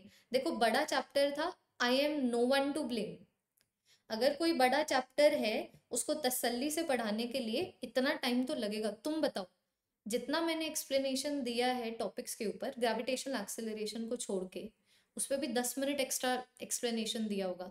क्या तुम्हें लगा है कोई भी ऐसा टॉपिक था जिसपे छोटा एक्सप्लेनेशन दिया जा सकता था? नहीं। आप कैसे साठ स्लाइड के एक्सप्लेनेशन को तीन घंटों से कम देर में बांधोगे? तीन घंटे भी नहीं, तीन, दो घंटे पचास मिनट हुए हैं। इसमें भी पाँच मिनट का ब्रेक था। पाँच मिनट का हमारा इंट्रोडक्शन था।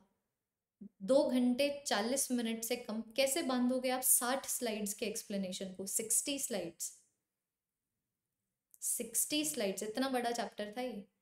कहीं कोई हड़बड़ी नहीं की है। कंसेप्ट तुम्हारे क्लियर होने चाहिए। क्वेश्चन वगैरह को मैं संभाल लूँगी। उससे पहले ना प्रीवियस ईयर क्वेश्चंस करोगे। डीपीपी तो मैं वैसे नहीं देती क्वेश्चन प्रैक्टिस से पहले।